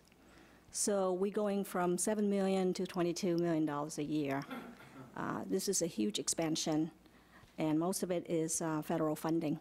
And it requires a lot of leveraging, and also require cost reporting, and cost settlement up to five years after each uh, fiscal year of services that were provided. So it's a lot of work. Um, Now, I'll open it up for members of the public who might want to comment on this. Please come forward. Good morning Supervisors. My name is Fish Williams. I represent PVPSA, Pajaro Valley Prevention and Student Assistance. We do support the county's uh, request to go forward with the drug Medi-Cal. We see this as a viable way to continue funding and ensure services in uh, the South County, especially for the communities that we serve. This is especially true given the uh, nature of the medical or marijuana becoming recreational access coming in January. We're anticipating a greater influx of need for services. So we support this, and uh, we appreciate your support as well. And together we can uh, change lives. Thank you. Thank you. Good morning. Good morning, Chair Leopold. Fernando Giraldo, Chief Probation Officer, Santa Cruz County. I just want to say a few words about the possibilities of the uh, drug Medi-Cal waiver and expansion.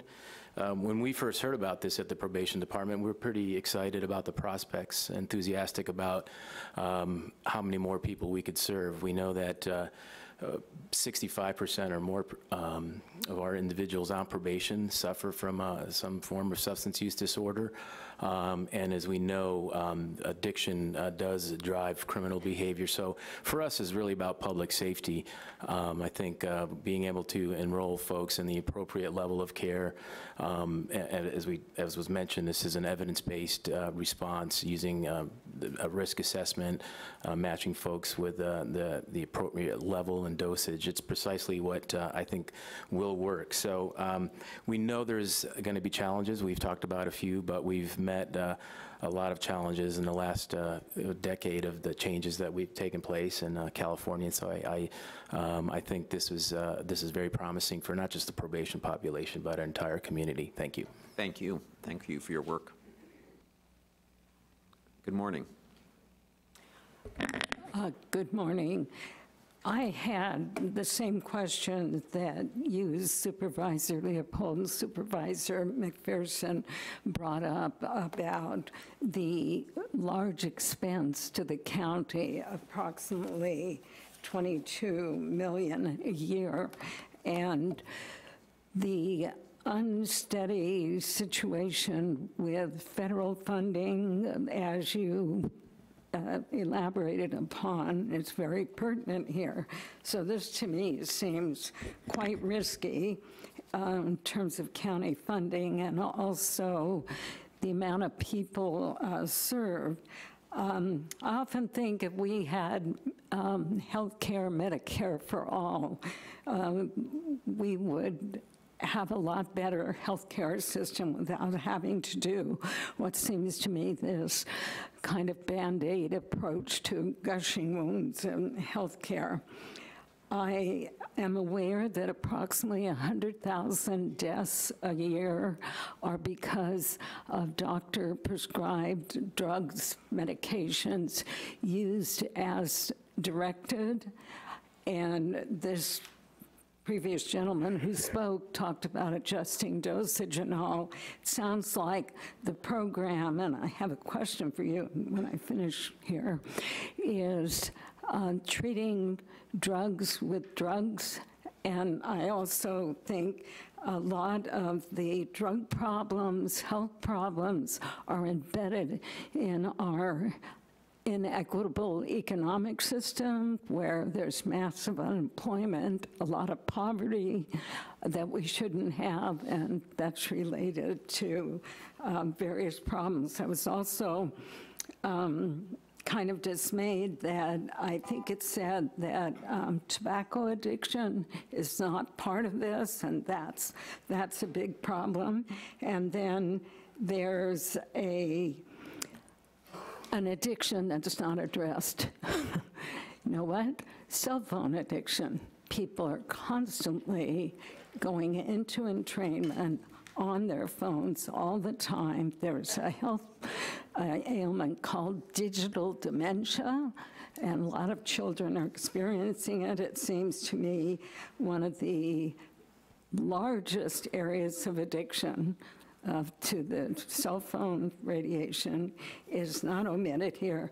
And the last point, and I want to ask you this, it wasn't clear to me. I'd like to see instead of a drug, with drugs problem is that there be, whole, use the word holistic care, but I'd like that elaborated upon because there's great benefit Thank to you. acupuncture, homeopathy, naturopathy. It's- Thank you. Could you respond to that, please? What part of We will hear the testimony, and then we will uh, answer questions. Good morning Supervisors. Uh, Rudy Escalante with Janus of Santa Cruz. I just want to commend uh, HSA staff for all the hard work that they've been putting in, working with the stakeholders, holding several meetings, working through the process to understand how this is all going to work out. We're very supportive of the Medi-Cal expansion. We received a grant to expand from 24 beds to 40 beds at our facility, thanks to the California Alliance. So I think there's really strong partnerships in Santa Cruz County. There is a huge need. As you saw, the bed space, if you think about the population that we have here and the amount of beds that we have, the resources are extremely limited, and we haven't even really talked about our youth, uh, those under the age of 18. So there is a growing need for it. I think there are going to be some challenges. We've all admitted that but I think we're committed to working together to try and get over these challenges and uh, some of the unknown uh, potholes that exist out there uh, from this expansion. But I think it's a great opportunity for our uh, clients and for uh, our community. So thank you. Thank you, and thank you for your work. Good morning. Good morning, Supervisors. Kate Welty, Chief Programs Officer, Encompass Community Services. I also want to say congratulations to our partners for the Herculean task that you have undergone um, in bringing this to our community, and we want to express our full support. It will allow us at Encompass to um, expand service provision. We are working on a, an expansion of our Si Se Puede campus, and this will allow the treatment funding um, to bring that from a 23-bed facility to a 40-bed facility, um, which will be fantastic. Um, as, uh, as Chief uh, Her- um, Fernando said, it is an incredible opportunity to be more strategic about how we're using our treatment dollars. The assessments allow us to ensure that we are looking at acuity and we are placing people where they will be most successfully treated. That means greater health for the community. It also allows us to um, continue to do something that we strongly believe in, which is operate um, in community and in partnership to have community impact. This is an issue that we know affects our entire community, as Supervisor Leopold, you were saying earlier.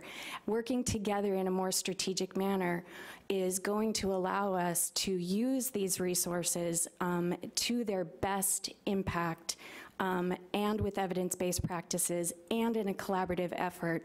And we just feel very, very strongly that this is exactly what this community needs to address substance use disorder.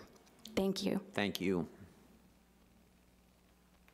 Good morning. Good morning, Board. Ellen Timberlake, Director of the Human Services Department. I just want to echo our wholehearted, wholehearted support for this expansion.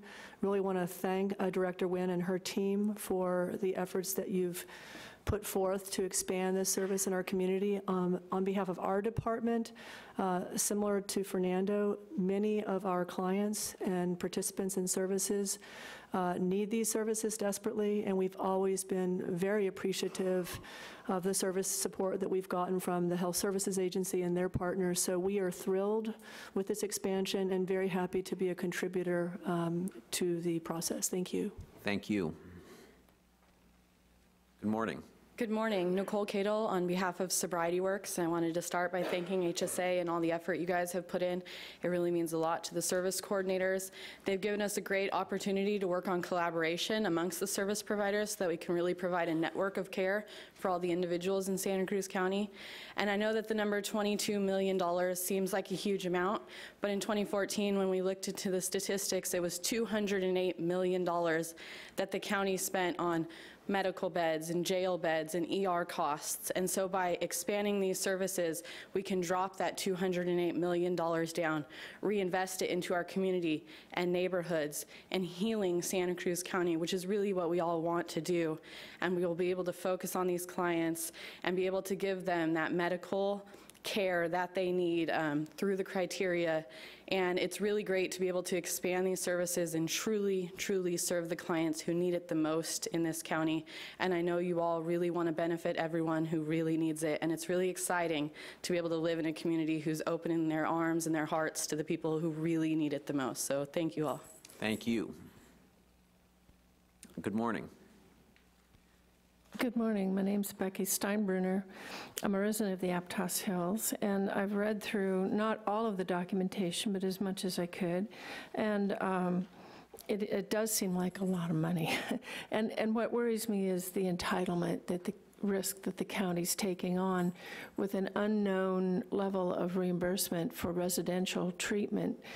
I also um, in talking with the resident that spoke before you about what's going on in the estates neighborhood in Aptos regarding uh, sort of a different treatment, but a, again, a residential treatment facility nonetheless, um, that process has been completely clouded to the public. And I have concerns about these, uh, maybe a proliferation of these residential treatment centers springing up in our residential areas about staff not being forthcoming about what's really going on. And um, the public is completely left in the dark about what is going on and uh, not fairly represented to any state or federal agencies that are providing funding. So I want to make sure if this occurs regarding this pathway of treatment that any residential areas affected are early on brought into the process, are uh, given full factual factual information, and um, are, are truly in support of what it could do with their neighborhood. I applaud um, this treatment process. Um, I also question the county's proliferation of permits for wine bars and brew pubs on pretty much every corner. It's almost like Starbucks was a little bit ago. It's making uh, alcohol consumption a trendy thing to do. And I don't think it's healthy for our society, even though it's a good tax base for our community. Thank you very much. Thank you. Is there anyone else? Seeing none, I'll bring it back to our board uh, for discussion or action.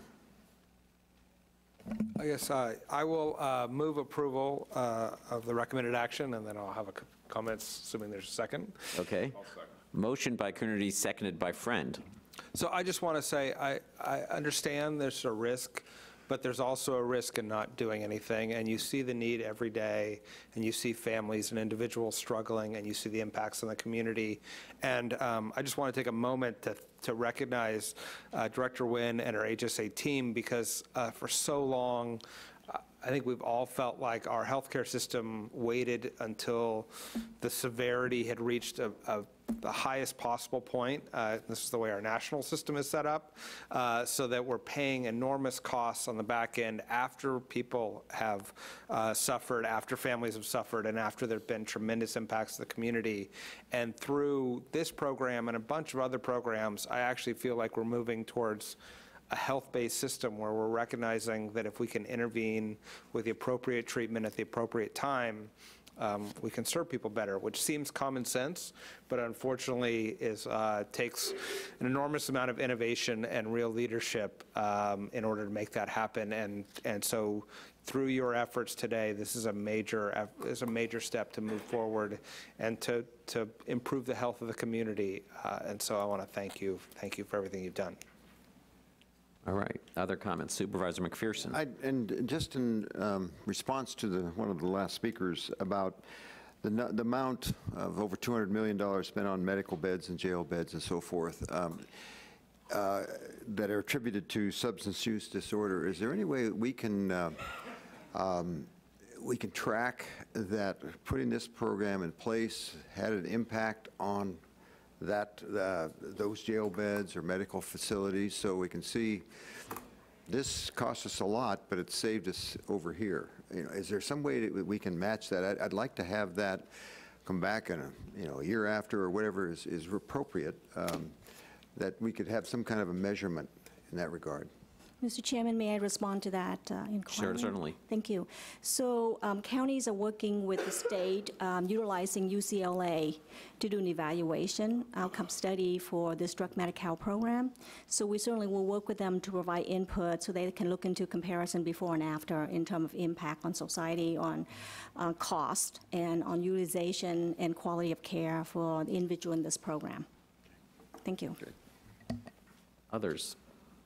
Uh, uh, I also want to thank you uh, for the work that went into putting this together. I know that you'll be going to the Santa Cruz City Council in January to talk about our services on mental health and addiction services, and I hope you will uh, provide them information about this program and also explain to them the risk that the county is taking in ensuring that this um, these services are available to people who need it here in our community. I think it- it's, uh, it's, we we don't, the, the public doesn't understand the, all the different ways in which the county is working to address critical health problems, like mental health services and addiction services. So I think it's, it provides a good opportunity to explain, and this is a great program. Um, All in favor signify by saying aye. Aye. Any opposed? Motion carries unanimously. Thank you. Um, It is now 10:40. We have a 10:45 item. Um, I'm going to suggest that we take a brief five-minute break, uh, and we will start exactly at 10:45 uh, to do the Green Business uh, Awards, and then we'll, uh, then we'll come back for the, uh, for the uh, other program.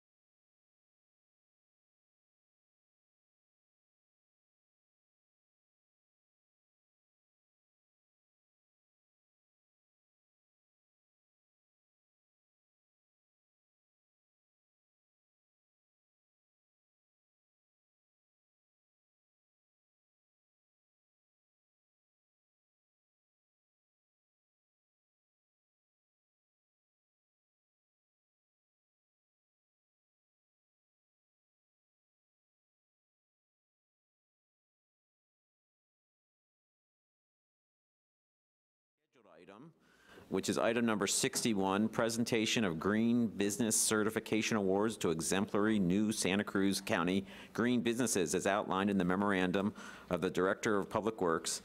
Uh, There are a list of the Green Business Award recipients. Um, And I'd like to introduce Marisol Goulet, Department of Public Works Pretreatment Program Specialist, is here to present the item.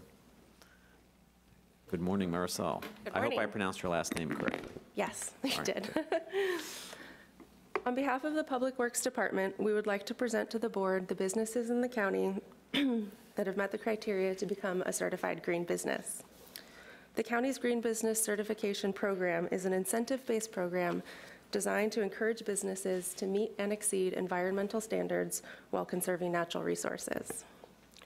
The businesses receiving the award today have voluntarily reduced water consumption, retrofitted lights, and made other electrical modifications to reduce energy consumption. They've also reduced solid waste through recycling and smarter purchasing, and have gone above and beyond regulatory requirements by implementing pollution prevention practices in their businesses. The county's certification process involves a series of rigorous audits by environmental and conservation experts to come up with the best available technology to prevent pollution and conserve natural resources. These businesses are the industry frontrunners that meet and exceed exceptional environmental standards. They have invested significant time, effort, and financial resources to ensure that they meet the criteria for certification. The California Green Business Network has been operating as a nonprofit for the past two years and was recently notified that the organization would receive a one-time appropriation of $1 million from the state to, to start several new programs as well as fund existing programs. It's expected that once the funds are received, existing programs like the County of Santa Cruz will receive $20,000 each in funding. Additionally, PG&E has once again renewed its support by offering funding and training for another year. As we gather to congratulate these newly certified businesses, we would also like to thank the board for your support to keep this program successful. Thank you. Thank you.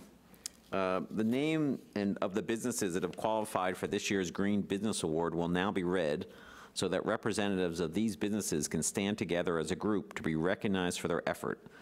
We'd like you to please remain standing until we have read the names of all the businesses and the members, and members of the audience. Please hold your applause until the end of the reading.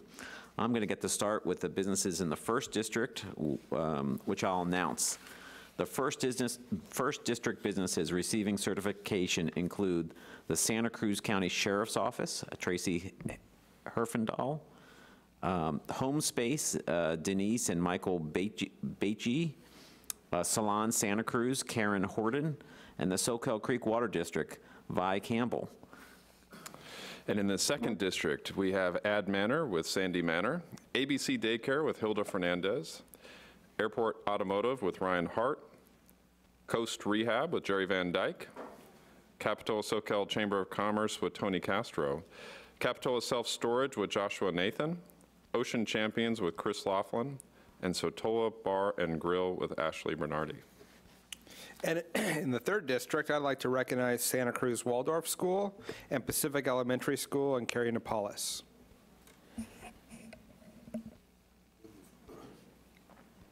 In the fourth district, uh, I'd like to acknowledge uh, Goodwood Products uh, from Summit Views and Jennifer Young, Fruteria Quetzal, and Maria Pena. Did I pronounce that one uh, name correctly uh, for fruit, uh, Fruteria? Huh? Quetzal. Quetzal. Okay, I'm sorry. Thank you. In the fifth district, I'd like to recognize Benedict DDS and Associates. Thank you. Will you, will you please join me in giving a round of applause to these businesses?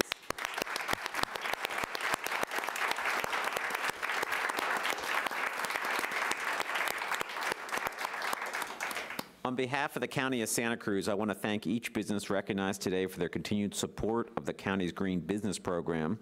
We invite the business representatives to gather in the hallway where Public Works staff has arranged a reception we're not going to be joining you. I see Supervisor Caput already found the food, but we're going to continue on with our, with our, uh, no, no, he found, a- he found food somewhere else, it sounds like I like. did. All Uh, right. Terry Dorsey made uh, chocolate chip cookies. for Okay, all right. Well, we won't be joining you today for the reception, but I just want to acknowledge the hard work it takes to get the Green Business Certification and the importance that plays in our community. You stand as true leaders in the communities. Thank you very much.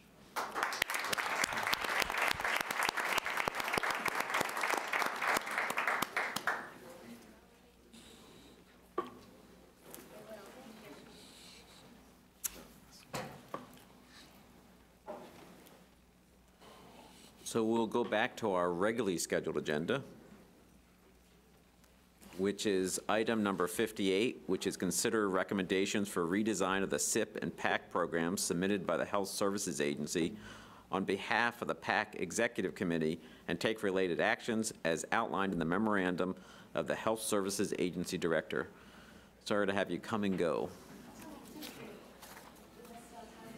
Break, break. Chairmen and members of the board, I'm Jane Nguyen from the Health Services Agency. Thank you very much for taking the time to consider the items in front of your board regarding the recommendation for PAC program redesign.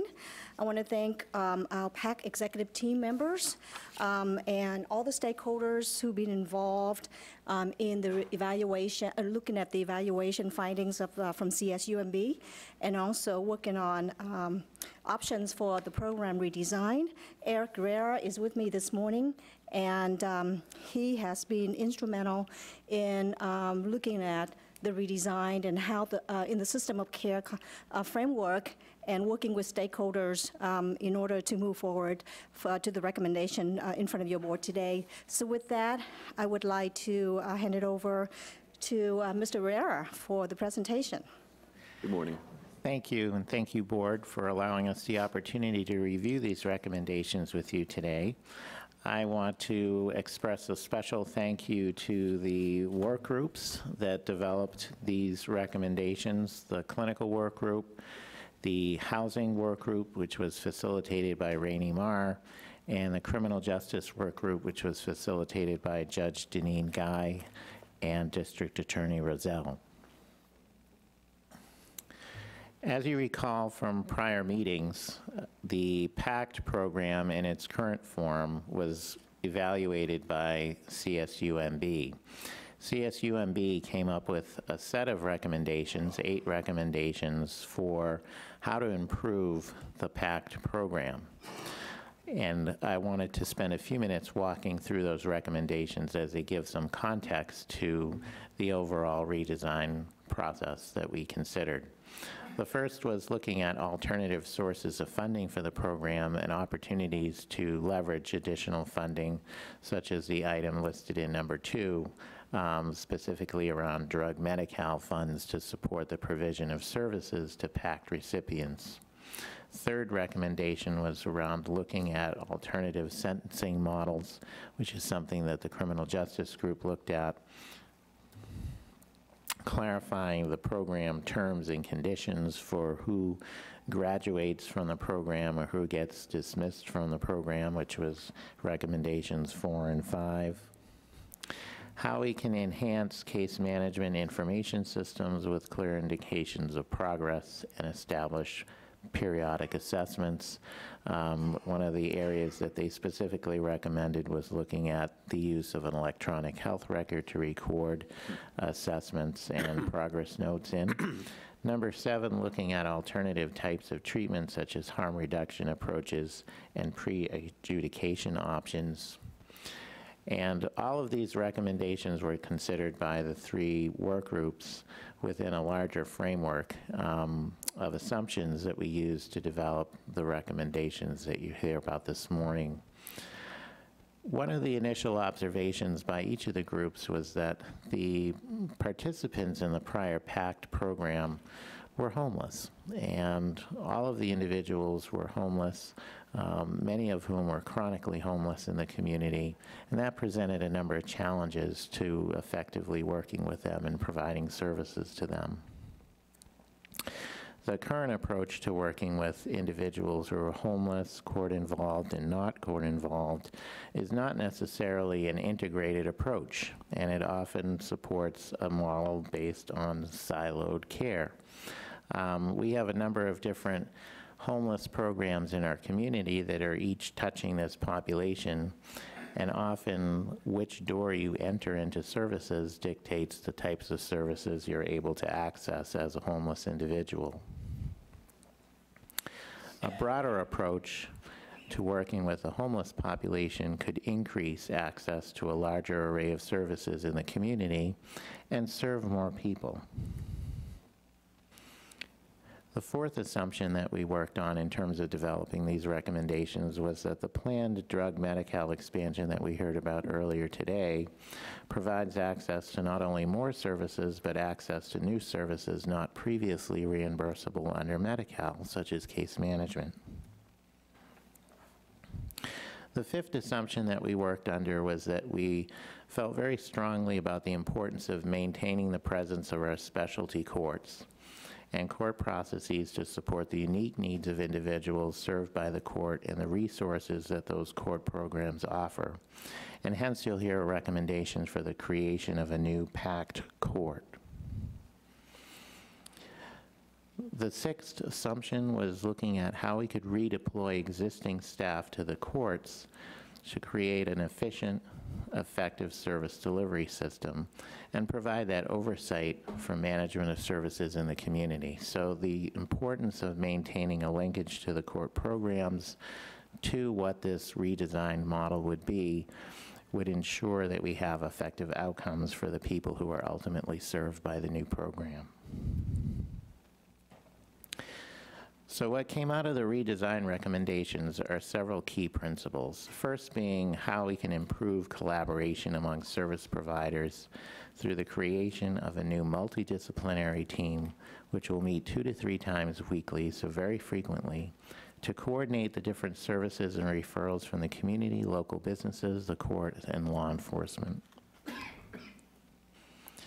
Number two is maintaining a focus on the homeless population. So looking at a broader system of care for the homeless population with a special emphasis on individuals who live in hotspot areas throughout the county, for example, in downtown Santa Cruz. And number three is maintaining and formalizing the Bob Lee Pact Court as a specialty court program similar to what we have with the Behavioral Health Court.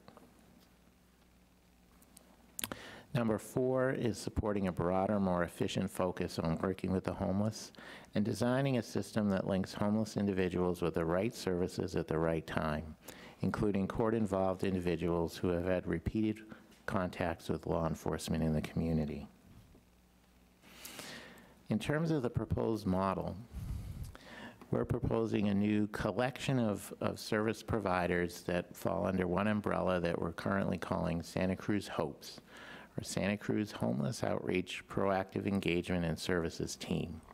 This HOPES teams brings the various homeless providing agencies such as the Downtown Outreach Program, the Downtown Streets Program, the Homeless Services Center, our different county programs, the Homeless Persons Health Project under one umbrella to ensure that we have coordinated services in response to the homeless population who are referred for services. And there are three phases that I wanted to talk about this morning in terms of how we approach these referrals to the HOPE team. The first step is an initial triage, and that's probably one of the more important pieces to the model in terms of de determining through an initial assessment what our immediate response is going to be. Is this a situation that requires an immediate visible response in the community? Or can it be referred back to the team for a response and a more coordinated effort amongst the different team members?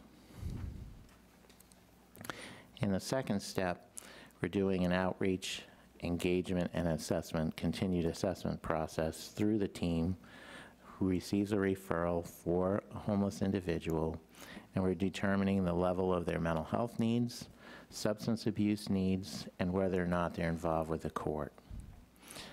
There's an outreach and engagement process for individuals to determine their treatment readiness based on an evidence-based um, motivational interviewing process, as well as introducing a harm reduction process for individuals who may not be ready for treatment, but nevertheless, we want to remain engaged and connected with them in the community, particularly for those difficult to engage individuals. In step three, we see a referral based on four different tracks that are again based on the level of severity of their mental illness, substance use disorder, and whether or not the individual has an involvement with the court. For individuals who have a mild or moderate mental health issue, uh, mild to severe substance use disorder, they'll, and court involvement, those individuals will be directed to the Bob Lee Pact Court. And at that point, there's further assessment by the Pact Court and the District Attorney's Office to determine whether that individual is appropriate for services through the Pact Court or whether they might be referred to another more appropriate service venue. For individuals with a severe mental illness, mild or severe substance use disorder, and court involvement, they will be directed towards the behavioral health court track. For individuals with a mild to moderate mental health issue, mild to severe substance use disorder not currently involved with the court, they will be connected with our Homeless Persons Health Project and our Integrated Behavioral Health Program for treatment services. And finally, for those individuals who are again not court involved, but have a severe mental illness and any degree of substance use disorder, they'll be connected with county mental health services and our partner community organizations for, for continued provision of services. So what we're trying to accomplish is folding the prior PACT program into a broader system of care, leveraging additional resources for this population, increasing the numbers of clients served, and establishing a new PACT specialty court. We continue to have a focus on priority cases, particularly those who did not fit into the existing PACT model that we have today. We're currently working on um, developing specific outcome measures for the new program.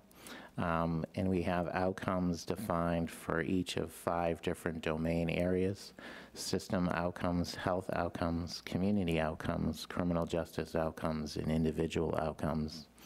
And we're looking to finalize those different outcome measures and make a recommendation back to the executive committee on which ones to proceed with. Right now, we have about 28 different outcome measures, and we're still working on determining which ones we can effectively measure um, and report on in the future. Our next steps um, include going back to the City Council after today's meeting and providing a similar presentation to the Council on these recommendations, finalizing our outcomes and reporting domains, um, beginning to launch our multidisciplinary team meetings beginning in late January, early February, and recruiting for new positions that are called for in the new model um, beginning later this month and during the month of January if we, we do proceed with, with these recommendations.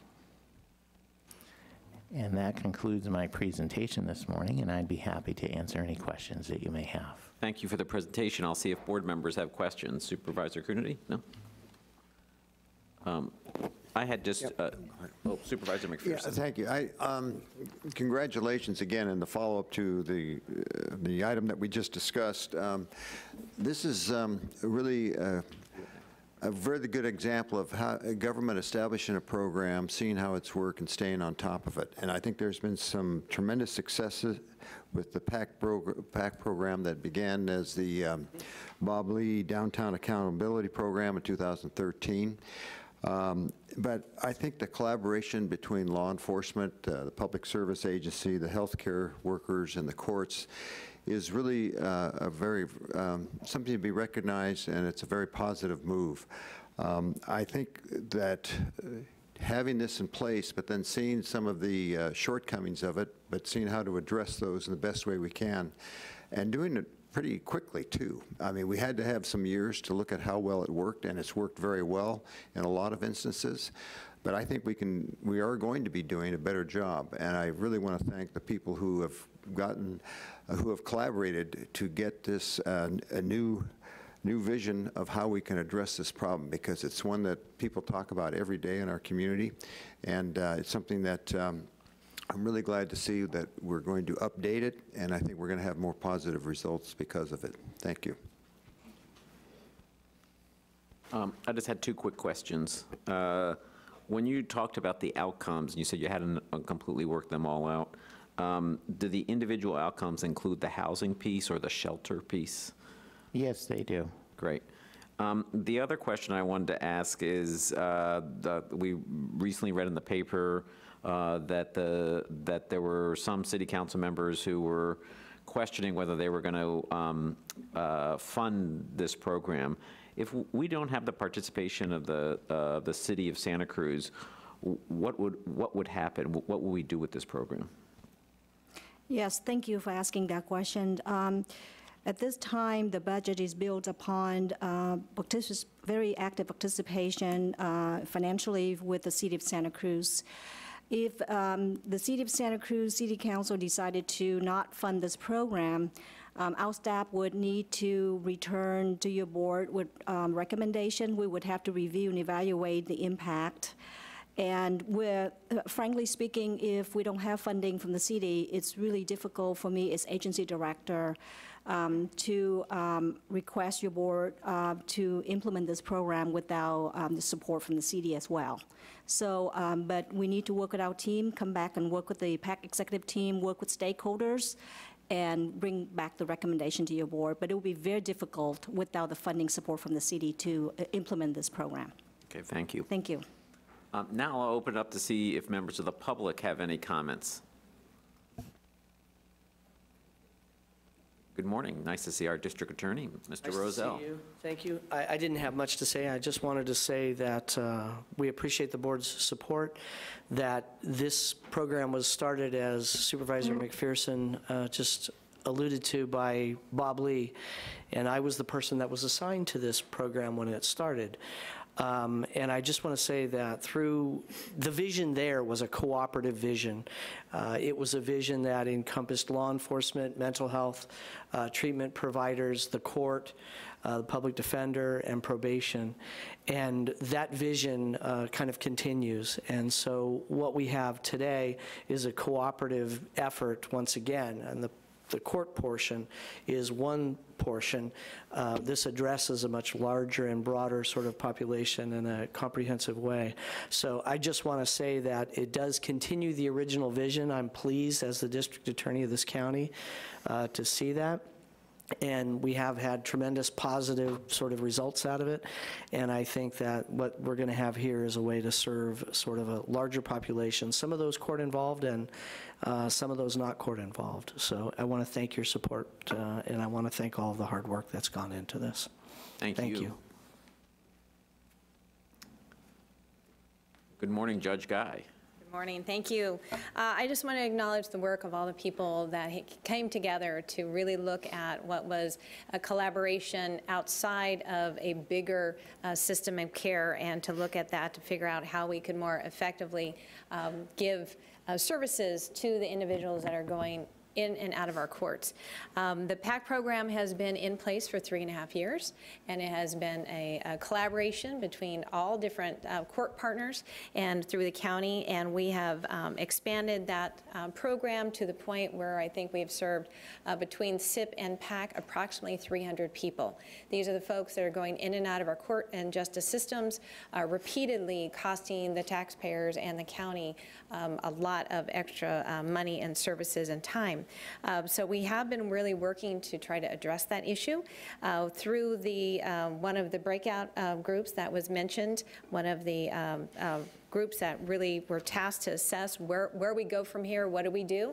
I will report that a 16-page report was put together from our justice system uh, group, putting together uh, recommendations addressing uh, four of the eight recommendations from the CSUMB um, uh, uh, research. So the uh, issues regarding uh, graduation, the criteria, acceptability, different types of phasing, all those issues are addressed and in a redesign recommendation that was put forward from our justice system group.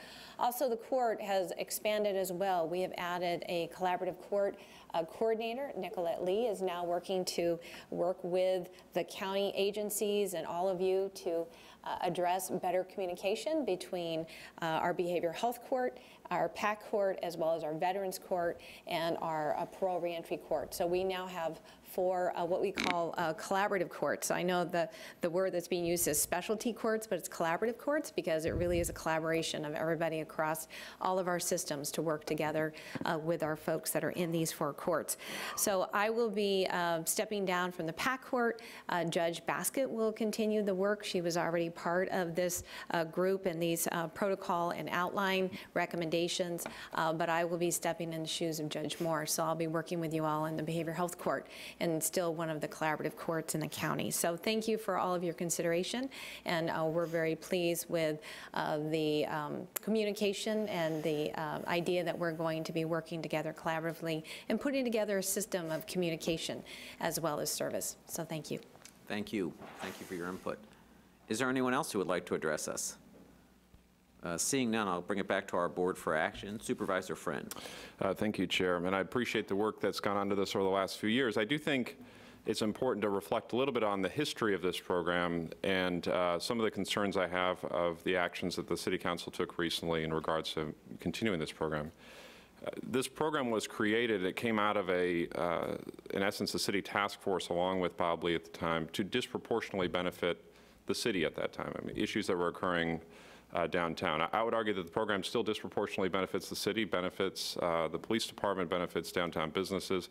I agree with Judge Guy that it has ancillary benefits throughout the entire county, but the reality is, is that this is also a significant ask of the county from both the staffing and financial uh, ask on, on a program that really disproportionately benefits uh, the city. I, I'll say that I was disappointed by the rhetoric that came from the majority of the city council at their last meeting uh, for a program that in essence they asked for uh, a program that they've had a seat at the table the entire time for, uh, and a redesign that they also asked for. This was, uh, it's very reasonable to review a program, uh, to do programmatic review. We do it on everything else we do through our departments, uh, and to see how we can make it better. And I think exactly what you've created is a much better program than actually what we had before. I think that uh, moving forward with this is the right thing to do.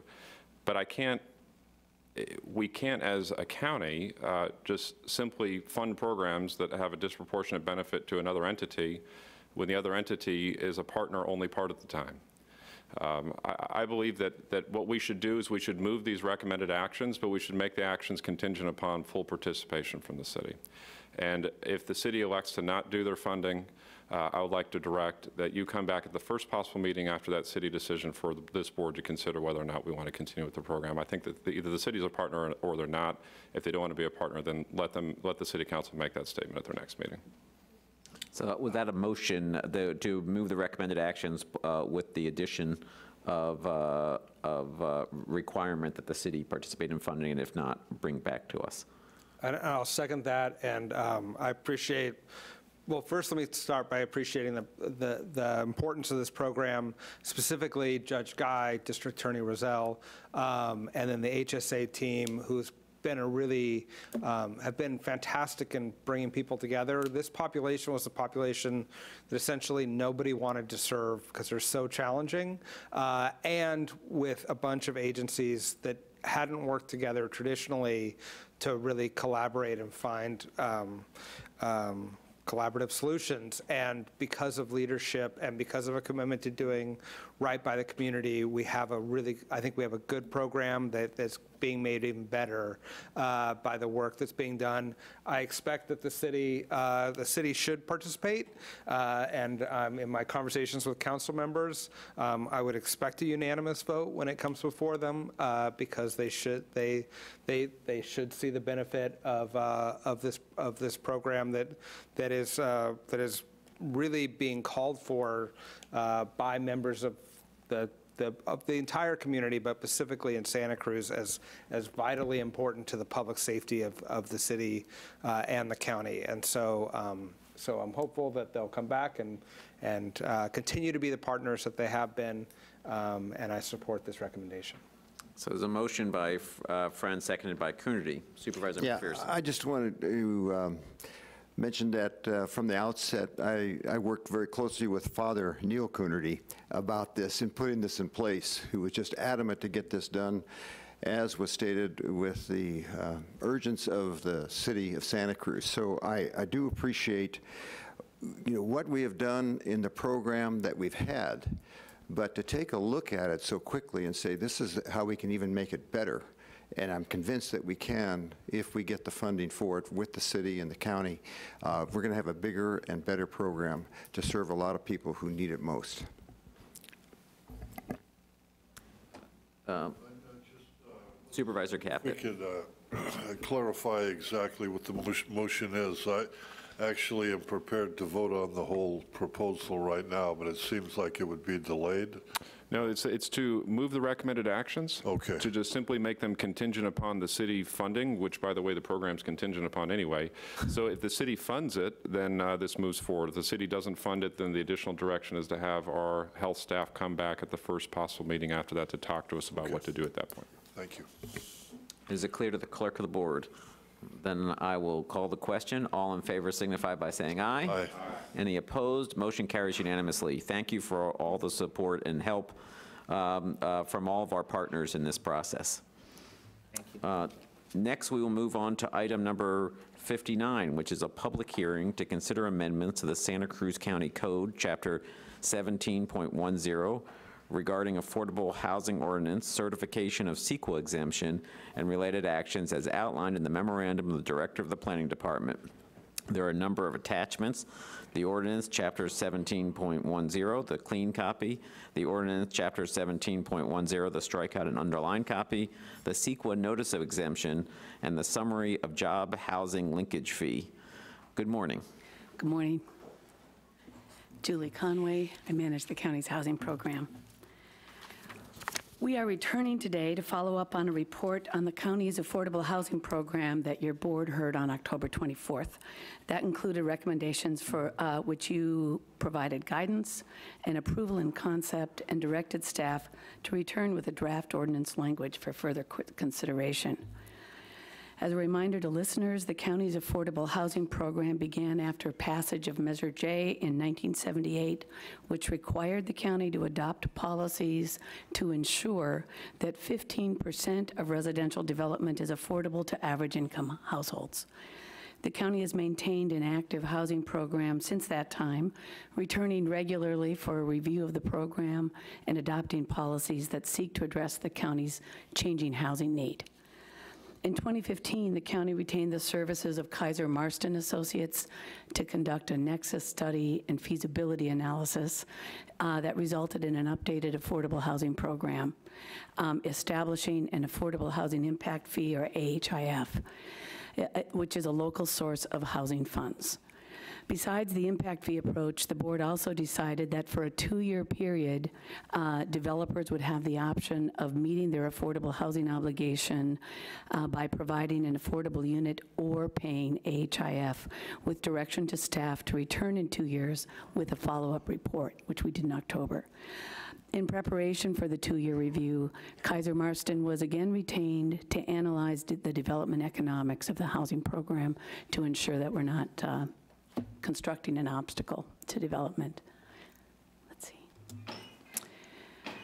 On October 24th, the board supervisors uh, received the scheduled update of the housing program and provided direction, um, as I said, to return with proposed amendments. Um, and we also included a request for further analysis of the affordable housing impact fee for non-residential development and a return to the Housing Advisory Commission, or the HAC, for a second time to further discuss on-site inclusionary requirements for rental housing.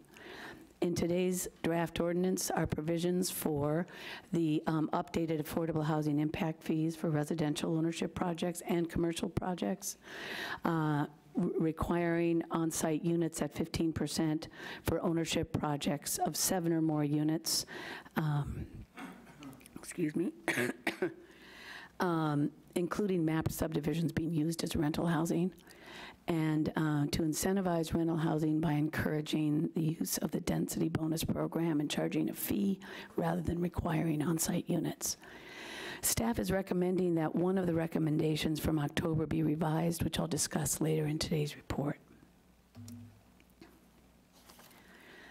One of the key features in today's proposed ordinance is a change to the fees for residential ownership projects. This chart reflects the HIF the board discussed in October. Um, The fees continue to incentivize construction of smaller homes with a graduated fee scale um, and includes additions, remodels, and replacements at the same rate, but only for net new square footage over 500 square feet. ADUs will be charged AHIF as an addition and will also exempt the first 500 square feet. So the rate of AHIF for ADUs um, of $2 per square foot has not changed, um, but the first 500 square feet will be exempt- exempted, and that's consistent with the overall approach to ADUs that your board discussed last week. Um, AHIF will be waived for any ADU that enters into a deed restriction for affordability. Uh, The unified fee schedule, which will be considered by the board later today, reflects these changes. The AHIF for commercial development uh, reflect the October direction of an increase to $3 per square foot for commercial uses other than certain agricultural buildings.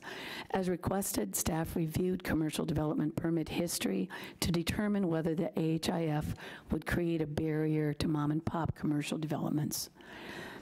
Of the, of 182 permits, only nine included net new square footage. Um, Over half were under 3,000 square feet. The majority of the permits are for tenant improvements that are not subject to AHIF. Staff is recommending that AHIF continue to apply um, to new commercial square footage. The board's October direction included a request um, for a further discussion of the affordable housing requirements for rental projects. On November 1st, the Housing Advisory Commission discussed rental housing policies, acknowledging the need for rental housing and the fact that the market is not uh, producing uh, rental, market-driven rental at this time. The HAC recognized that the inclusionary housing requirement is not a primary barrier to building rental apartments, but that low density and other development standards are likely the greater hurdle. Um, The density bonus provisions of County Code Section 1712 allow for up to 35% additional density along with concessions on development standards. Um, It's been the county's policy uh, for some time to uh, allow HUD fair market rent. Um, And the density bonus program provides an opportunity to get some restricted units um, and also address a badly needed uh, community housing need. So as I mentioned, in 2012, uh, your board adopted the policy of allowing owners of county affordable rental units to charge HUD FMR rather than the Measure J restricted rent. So I've um, illustrated up here the difference. Um, And we are finding that since we put this policy in in place, um, more and more owners of rental units um, are are choosing to rent to voucher holders. We are also finding that buil- um, builders who are interested in market rental projects um, using a density bonus are, are very interested in this because it helps level it out and make it easier to actually build. Um, So it's worth um, acknowledging that, that we have that policy in place. So the Housing Advisory Commission recognized that the market is not producing rental housing at this time and recommended the continuation of the current policy of charging the nominal $2 per square foot. The HAC also requested regular reports on rental projects that are submitted for approval with the intention of revisiting this program in the future, um, should the market and our density standards start to be producing um, market rate rental projects. The 15% inclusionary requirement um, results in an on-site affordable unit with a seven-unit project. This was recommended in the October report. Um, We also recommended that um, the developers no longer have the choice, the on-site unit be required, um, and the board would would retain its ability to um, let a project pay the fee when that makes sense. So developers and property owners um, need the county to maintain consistent policies when it comes to inclusionary housing. Um, Those uh, elements become built into expectations for price. Um, And the two-year uh, experiment in developer's choice has not increased the rate of development. Um, And unlike rental housing, um, it does, it has not prevented subdivision projects from proceeding. We continue to see them um, come in at all stages, and it hasn't slowed them down or increased them by changing this. So upon reviewing the development economics, staff believes that requiring on-site affordable units for projects of seven or more represents an overall balanced approach to encourage construction of homes and provide permanent affordability um, in 15% of them for this difficult market. In October, staff recommended that a change be made to the program to require HIF when building permits are issued. This was recommended because the current system of payment when homes are sold was resulting in home, home buyers um, facing an unexpected fee, and it wasn't part of their financing. Um, So since the October recommendation, we've met with a number of parties who said that payment when the permit is final um, would actually facilitate development rather than when it is issued. Um, So it'll relieve carrying charges during the construction period. Um, So by doing that, the fee would be uh, included in the cost of development, um, and, it- but it would address the issue of an unexpected fee for the homeowner. So we're actually recommending that this provision be incorporated into the ordinance, which is a change from what we discussed earlier after discussing it. So it is recommended today um, that your board hold a public hearing uh, to consider revisions to the Santa Cruz County Code, Chapter 1710, determine the proposed project is exempt from CEQA, the California Environmental Quality Act, approve the ordinance amending the Santa Cruz County Code, Chapter 1710, in concept, and direct direct the clerk of the board to place the ordinance for second reading and final approval on the next available agenda. Thank you. Thank you. Are there questions? I just had two.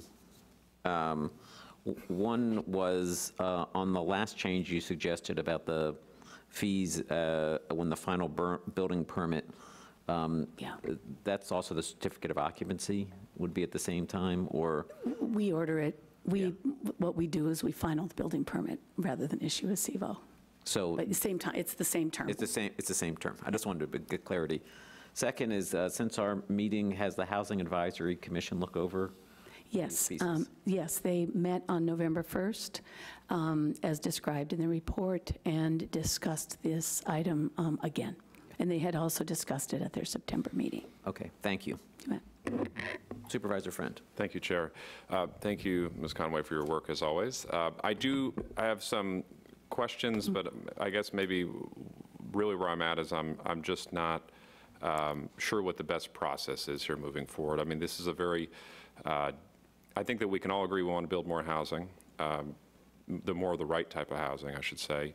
Uh, And we also want to build more affordable housing, and so we need more housing even at the market rate, the more affordable market rate, and as well as just uh, deed-restricted affordable.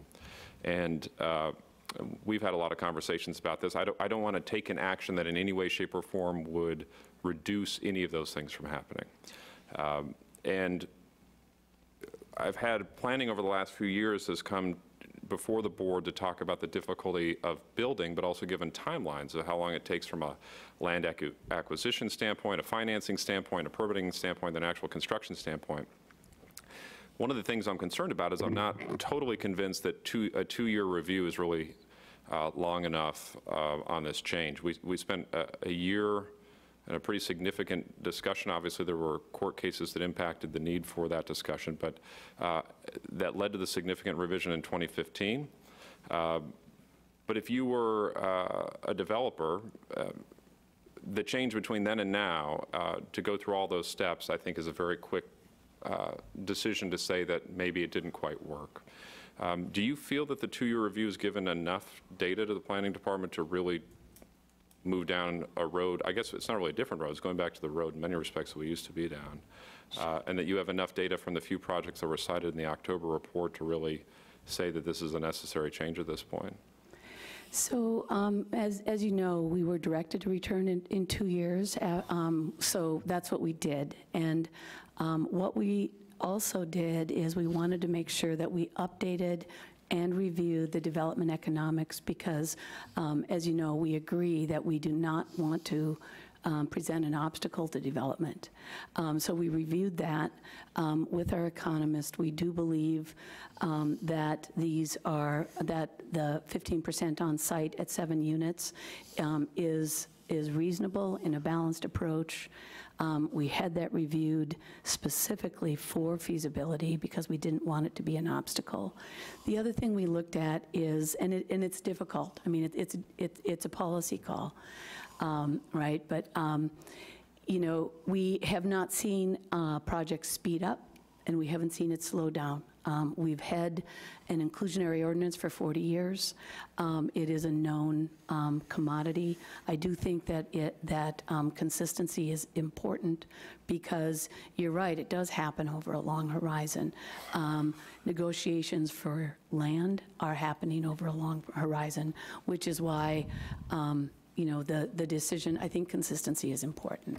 So that, those were factors we took into approach uh, when we were, when we were talking about this. Uh, Kathy Molloy, Previsich Planning Director.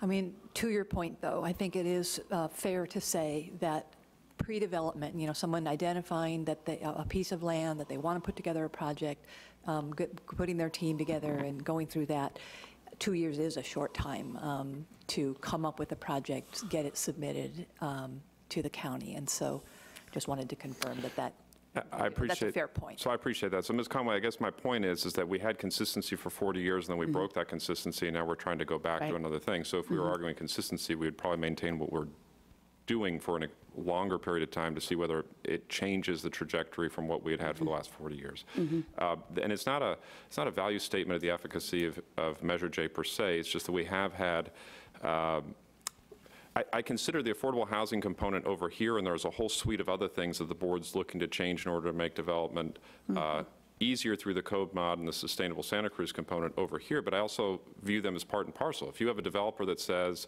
maybe item four or five of concern is the inclusionary requirement, it's not number one, which is consistency or uh, costs, or in essence, that insecurity of knowing- knowing whether or not the project will even go through, uh, so we obviously have to modify to- the degree we can the codes that allow for the densities, allow for the corridor locations to happen.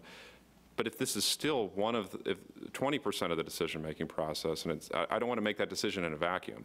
I feel like what we're doing is, is pulling it out and making it in a vacuum. And, and I I remember the discussion, we had a a robust discussion actually at that time, two years ago, as to whether we should uh, change it, and we had a, a difference of, I mean, respectful difference of opinions at that time. Uh, My colleague had rec- recommended a one-year review, and, you know, I made the motion for a two-year review, Uh, but I didn't anticipate a wholesale change back at two years. I just, I just considered this in essence a check-in. And this is more than a check-in recommendation, it's a, it's a full-scale change. So I- I'm, this is one of the few times that I, I'm really not convinced yet uh, um, what's being presented to me is the right direction. I don't feel comfortable uh, necessarily with the direction. There are certain things in here that I'm not as concerned about. I think some of the fee asks aren't, aren't um, uh, the end of the world. It really just comes down to the inclusionary component and whether or not that's going to, uh, if it's a word, I don't know, disincentivize. I mean, incentivize became a word since we've been adults, I guess, but uh, to, to discourage development uh, is something we just don't want. And I recognize that, that, that this, is a, this is a difficult conversation for people in Santa Cruz County to have. And people don't like the term growth, they don't like, but I mean, realistically, what we're talking about is a new kind of development to both meet the needs that we haven't met for the last 40 years uh, and to meet the future needs. We're- These aren't single-family homes in suburban areas, that's part of the code mod. But I just don't know whether the inclusionary is there, and that's where uh, I'm torn on this. So I appreciate you answering those two questions, but I I think that these should be more of a holistic discussion than we're having right now, which is my hesitancy on voting just on this element. Thank you. Not- uh, Let's open it up for public discussion then. Please come forward.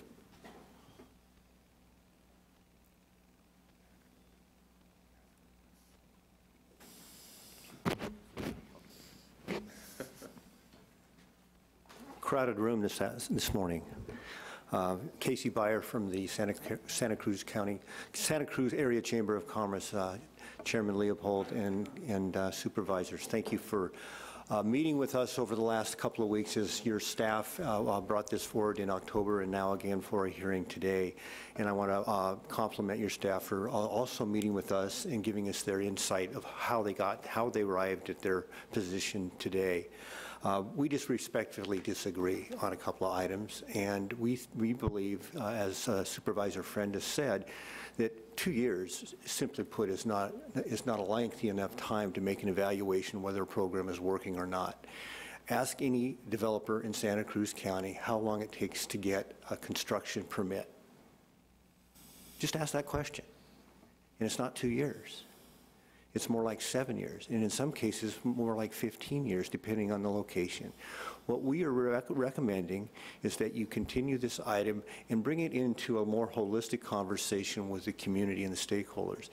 We're not against inclusionary zoning. We just think if it's got to be done right, and it's got to be done where there's land use opportunities where that type of development can be placed.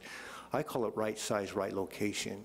Uh, You're going through a zone modification program, but that's a year and a half away. Now you want to put this particular item in front of it, and then ask the developer to say, okay, build those seven units, and and by the way, make, make one or or two of those units inclusionary. And he's to, he or she's going to ask you the question, where's the land? Where's the available land to do that? Where's the, the, the landowner that's willing to sell at a market rate so that you can build those units? All of those questions are unanswered in this report. Uh, I respectfully appreciate uh, uh, Julie and Kathy's work on this and for meeting with this, and I just respect uh, having an opportunity to talk to the CAO. But please, take a look at where you're going. I think there's better judgment ahead. Thank you. Thank you. Good morning. Good morning, Chair Leopold, Board. Um, I just want to echo more of what Supervisor Friend said in terms of taking some time and having a more holistic approach to, to uh, this kind of policy spectrum of, of dealing with housing affordability generally. Um, I won't take up too much of your time. We've sent you a letter. We've sat down and met with most of you, um, as well as staff and the CAO. Um, So I'll tell you a little bit of time in terms of, we would love for you to to continue this to a later date, so when we can have a more holistic assessment of the impact these policies may have, but to tell you what we're going to do in that time. Um, In that time, we would compile pro formas, we will compile, compile statistics that would give you a local context around how these policies are being implemented currently. We'd provide you with case study analysis of looking at other areas that have addressed this, addressed this issues and drafted their own inclusionary ordinances. I would definitely point towards the city of Santa Cruz, which has brought in multiple consultants just on inclusionary ordinances and just on the kind of nuances and different kinds of balancing approaches you can take, whether it's incentive structures or whether it's tiering different fee structures.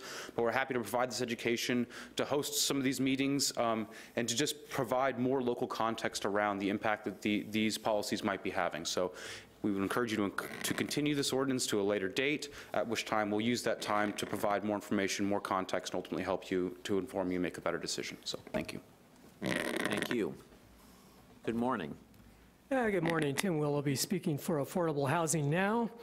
Um, And today, I'm here to speak for the approximately 13,000 people who are on the uh, Housing Authority wait list for affordable housing, of which uh, several thousand are Section 8 uh, applicants, and for the 460 seniors who uh, did not get spaces in the St. Stephen's project. So that's the- our name, Affordable Housing Now, not several years from now, now. All those people need it now, not later.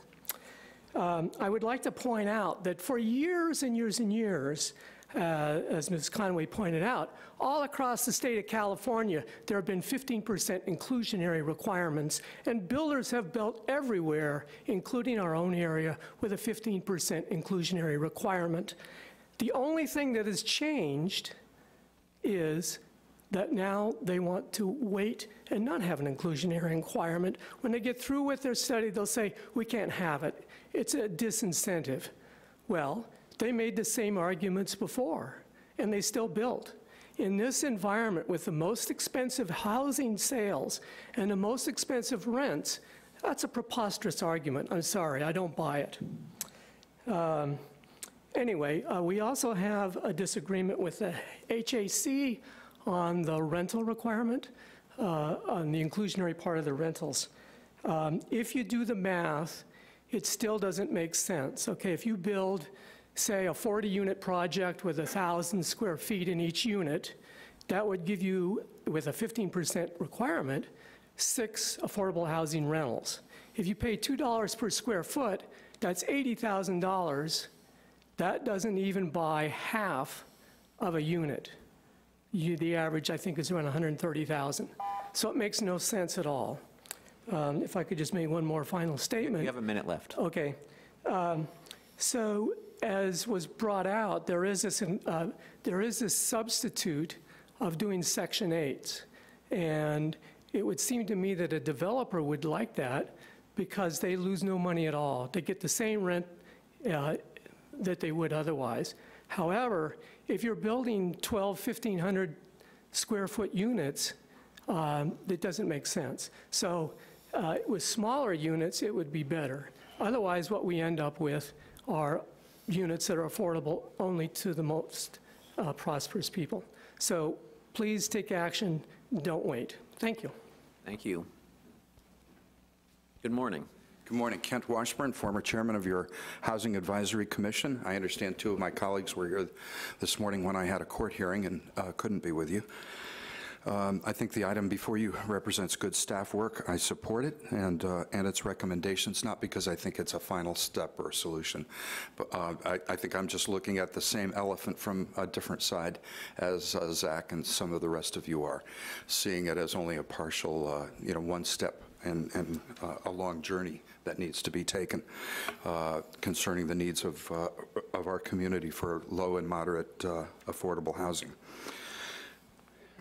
We're not getting the job done. That's, the, um, and, and we, we fall farther and farther behind uh, every year. We rank in the least affordable housing market uh, statistics every year nationwide, not just in California, in terms of the difference between our uh, our uh, median income and our median real estate prices.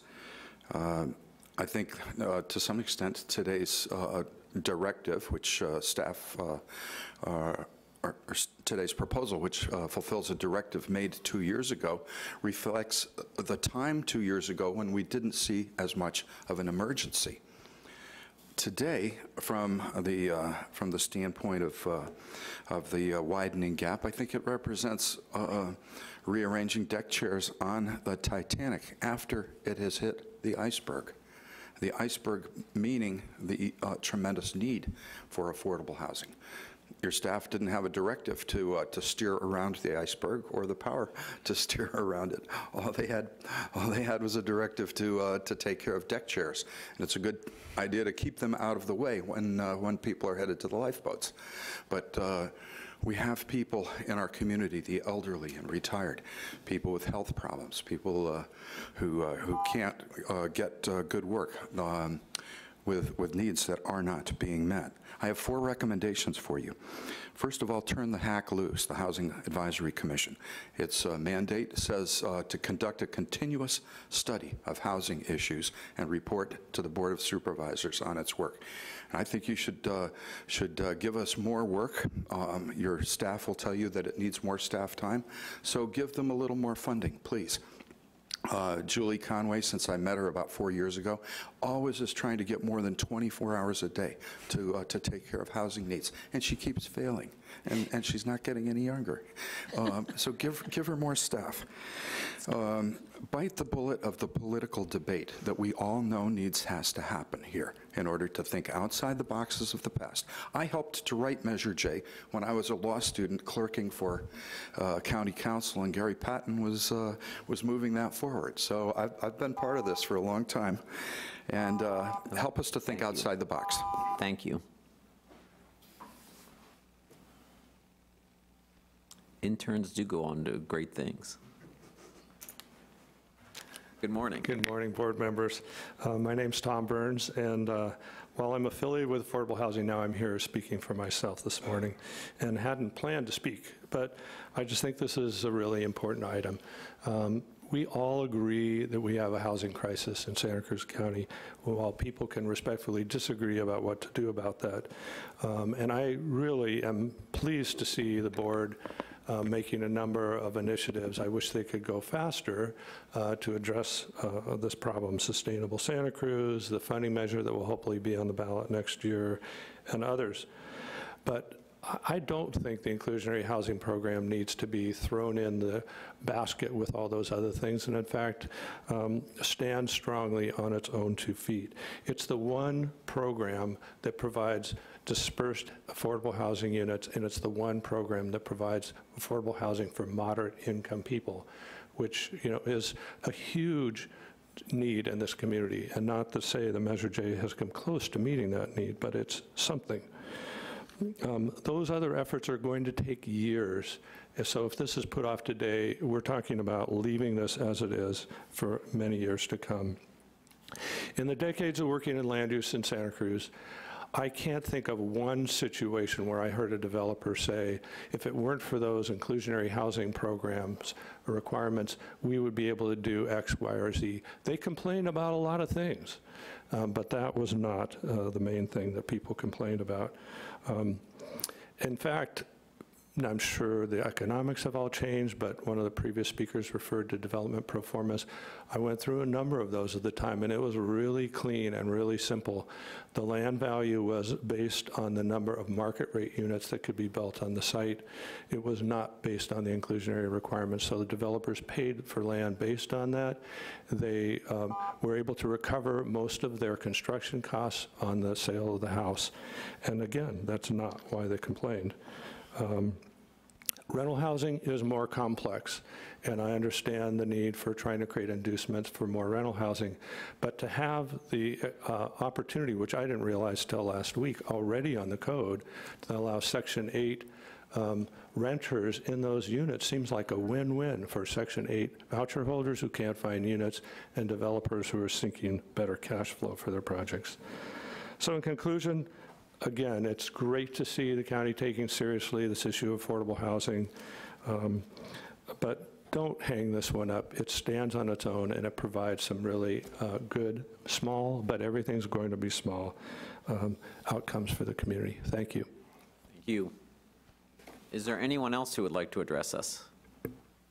Seeing none, I'll bring it back to the board. Uh, Supervisor McPherson? Yeah, I'd, I'd like to make some comments before I ask for continuance of this item, and that planning department is saying, oh my gosh, we've spent a lot of time on this already, I know.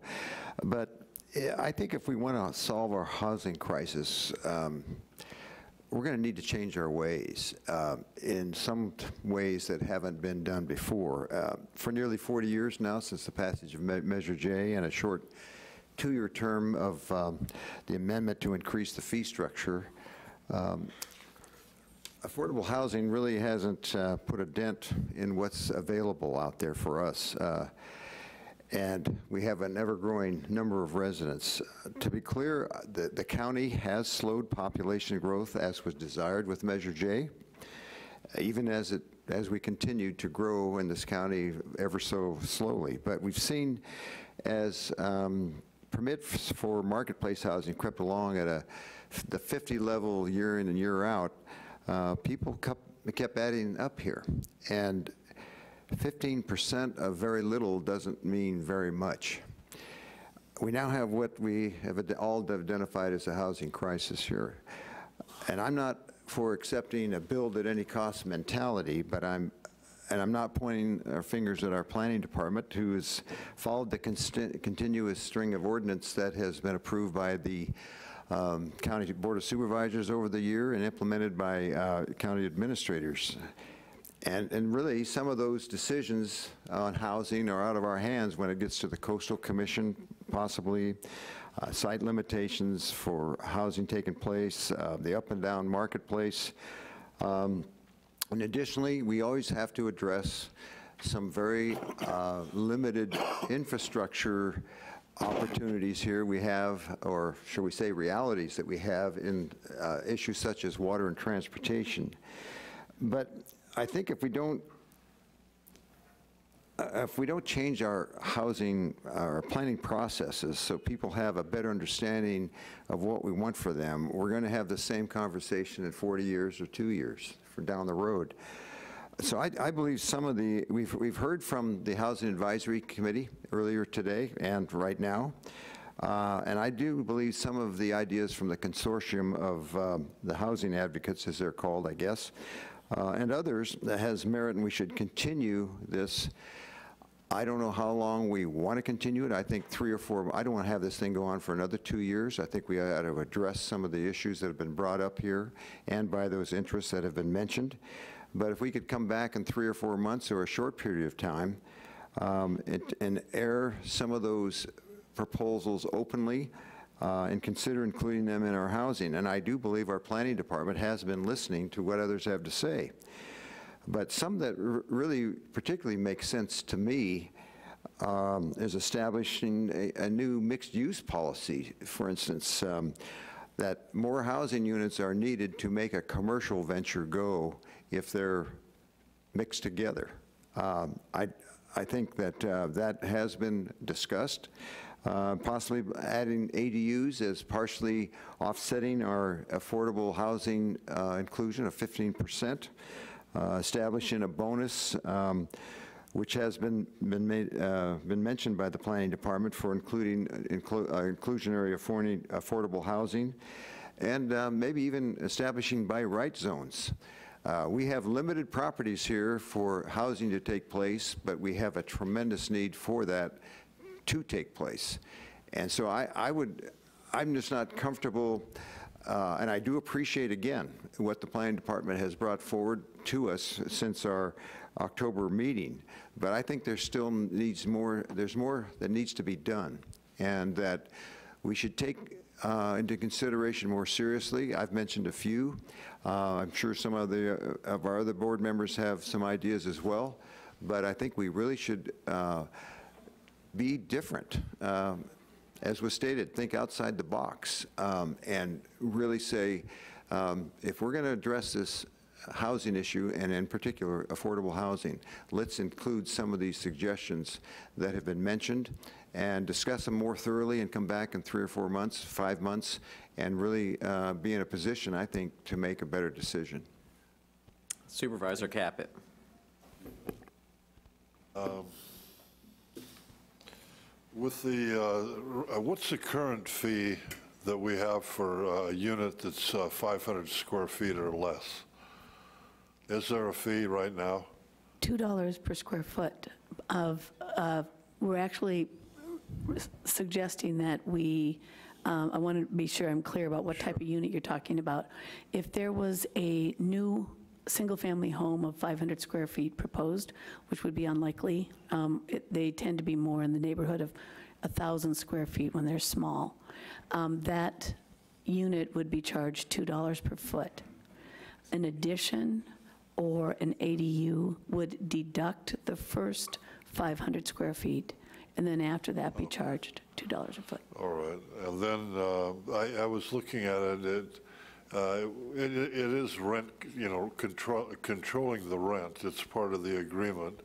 Uh, And it, it did say like for, um, one bedroom would be about 1,044, but if they, if they were put on section eight, they're getting about double. Yeah, uh, what you're referring to is the rents that can be charged on affordable units that are controlled by the county. So for, for many years, the Measure J program has had a provision, they're called investor-owner units. Uh, They're allowed to be rented. The rent is set and required to be affordable, calculated at 60% of median income. Um, The board changed the policy in 2012 to allow for the higher rents. And the reason for that was really, um, we were having a crisis, which has continued, um, to find, for, find units that people with Section 8 vouchers, other tenant-based subsidy can use. Um, We have found that that provision of allowing fair market rents to be charged is actually um, proving to be very interesting to, to developers looking at building rental housing because they can have deed-restricted units. And remember, under the density bonus program um, that is currently in place, Chapter 1712, which is consistent with state law, um, 35% of those units are deed-restricted as affordable in perpetuity, so forever. So the landlord is agreeing to do that, that, that, uh, agreeing that they will always rent to um, low-income households and charge them an affordable rent. So the fact that your board has that policy actually is, we believe, an incentive to density bonus projects, and we believe that not by the number of projects that have come in for approval, but by the number of developers that are coming to talk to us um, about density bonus um, projects, which would get us additional units. They do tend to be small, um, so because they're rental units and they tend to be smaller units, which we want more of. Thank you. Uh, I had a couple comments that I wanted to make. Um, When, um, when we made this change a couple years ago, um, I didn't support it. Um, I thought it was, it it wasn't a good policy strategy. Um, It was, th- there was no clear information um, uh, from developers uh, that said that it it was a real effect on them. Um, And the board decided to try something. Um, In those two years, which people have said is not a very long amount of time, I, I think in my district alone, there was five units that were not built. So we got to ask ourselves, how many years do we want to do this? Do we want 10 units to go away, 15, 20 units? Uh, One of the speakers says that it takes 15 years to get a, a, a, a- permit. So should we wait 15 years to try to figure this out? we didn't, the, the, I I appreciate the staff work on it, because it didn't just, you know, look at themselves and try to come up with something that they thought would work out. They actually talked to economists, and they looked at, at, at, at financial numbers, and they had pro forms. Um, So this isn't a casual recommendation. Um, And I appreciate the um, testimony from our former planning director. He has spent a few years looking at development projects in Santa Cruz County. Um, And so I take his uh, testimony uh, seriously. Um, Meanwhile, we- there's a- another side that says, well, give us time to put together something, you know, try to figure it out. Um, When I met with the- the the representatives here, they didn't provide me with uh, any pro formas or economic information. It was just what they thought, and they had clear ideas of other things we should do. I respect that, and I I saw a draft just uh, yesterday of the Monterey Bay Economic Partnership uh, paper uh, on housing, and there's some things that we're doing and some things that they, um, that they'd like us to do. Uh, But uh, we're, we- we- we're not making, we're not, this change is not being suggested casually.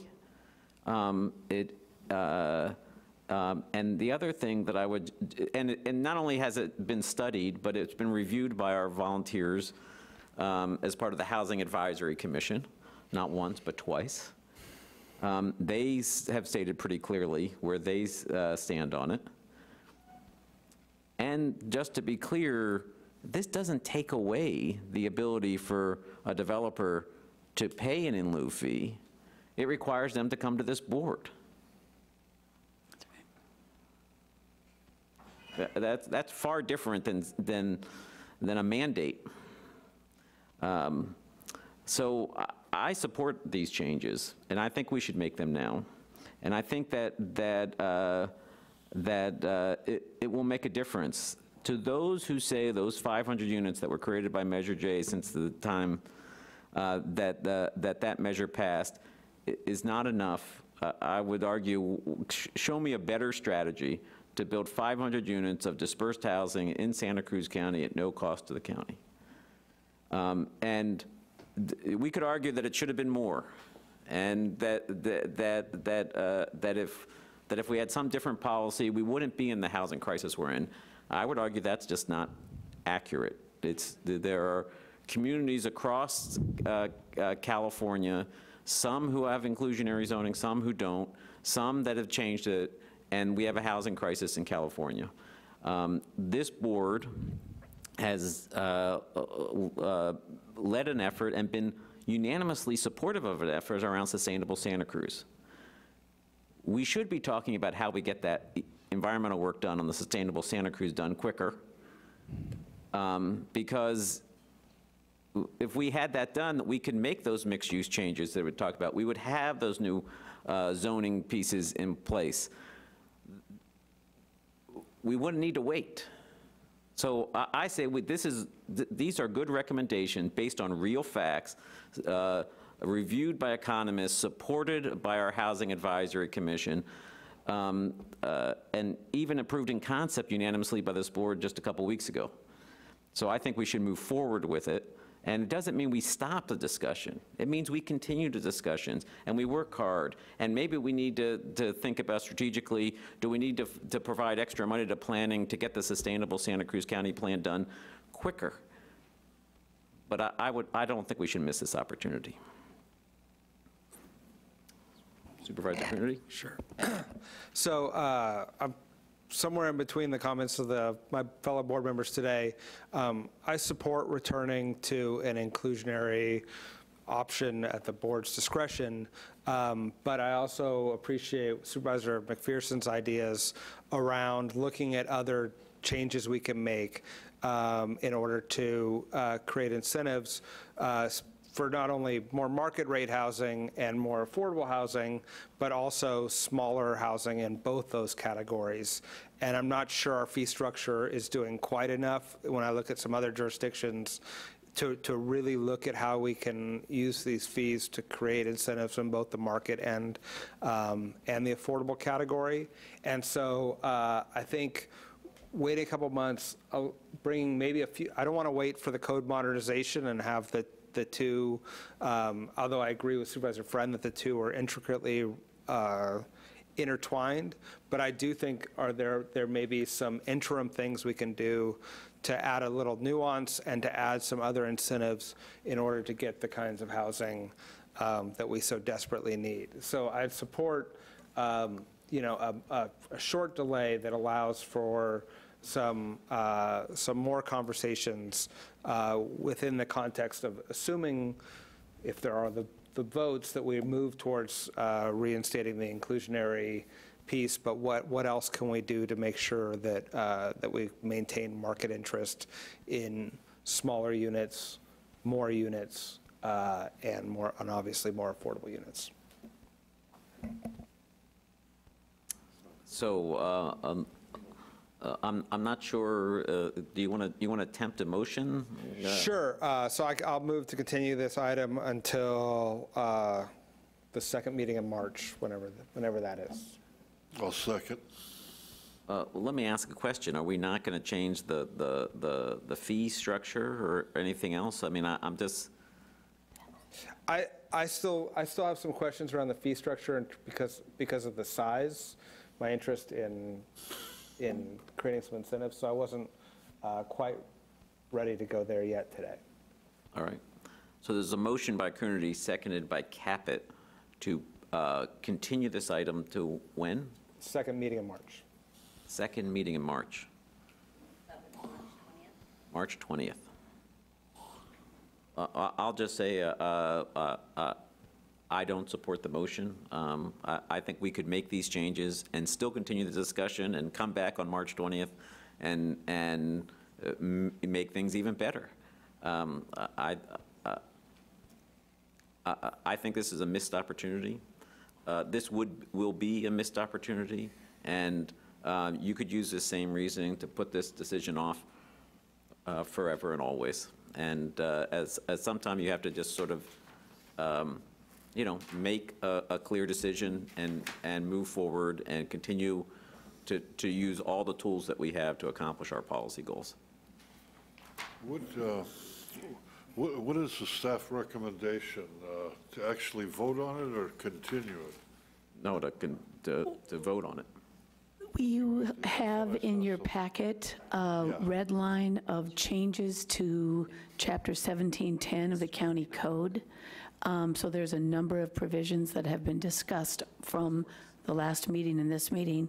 That includes some changes. So um, the recommendation was to hold a public hearing um, and discuss the changes to the code uh, and um, ma- make a decision one way or another. Okay, so to- to make a, a final vote on it, uh, I mean, right now, rather than continuing it? Yeah, it's, it's on the screen right in front of you. Yeah.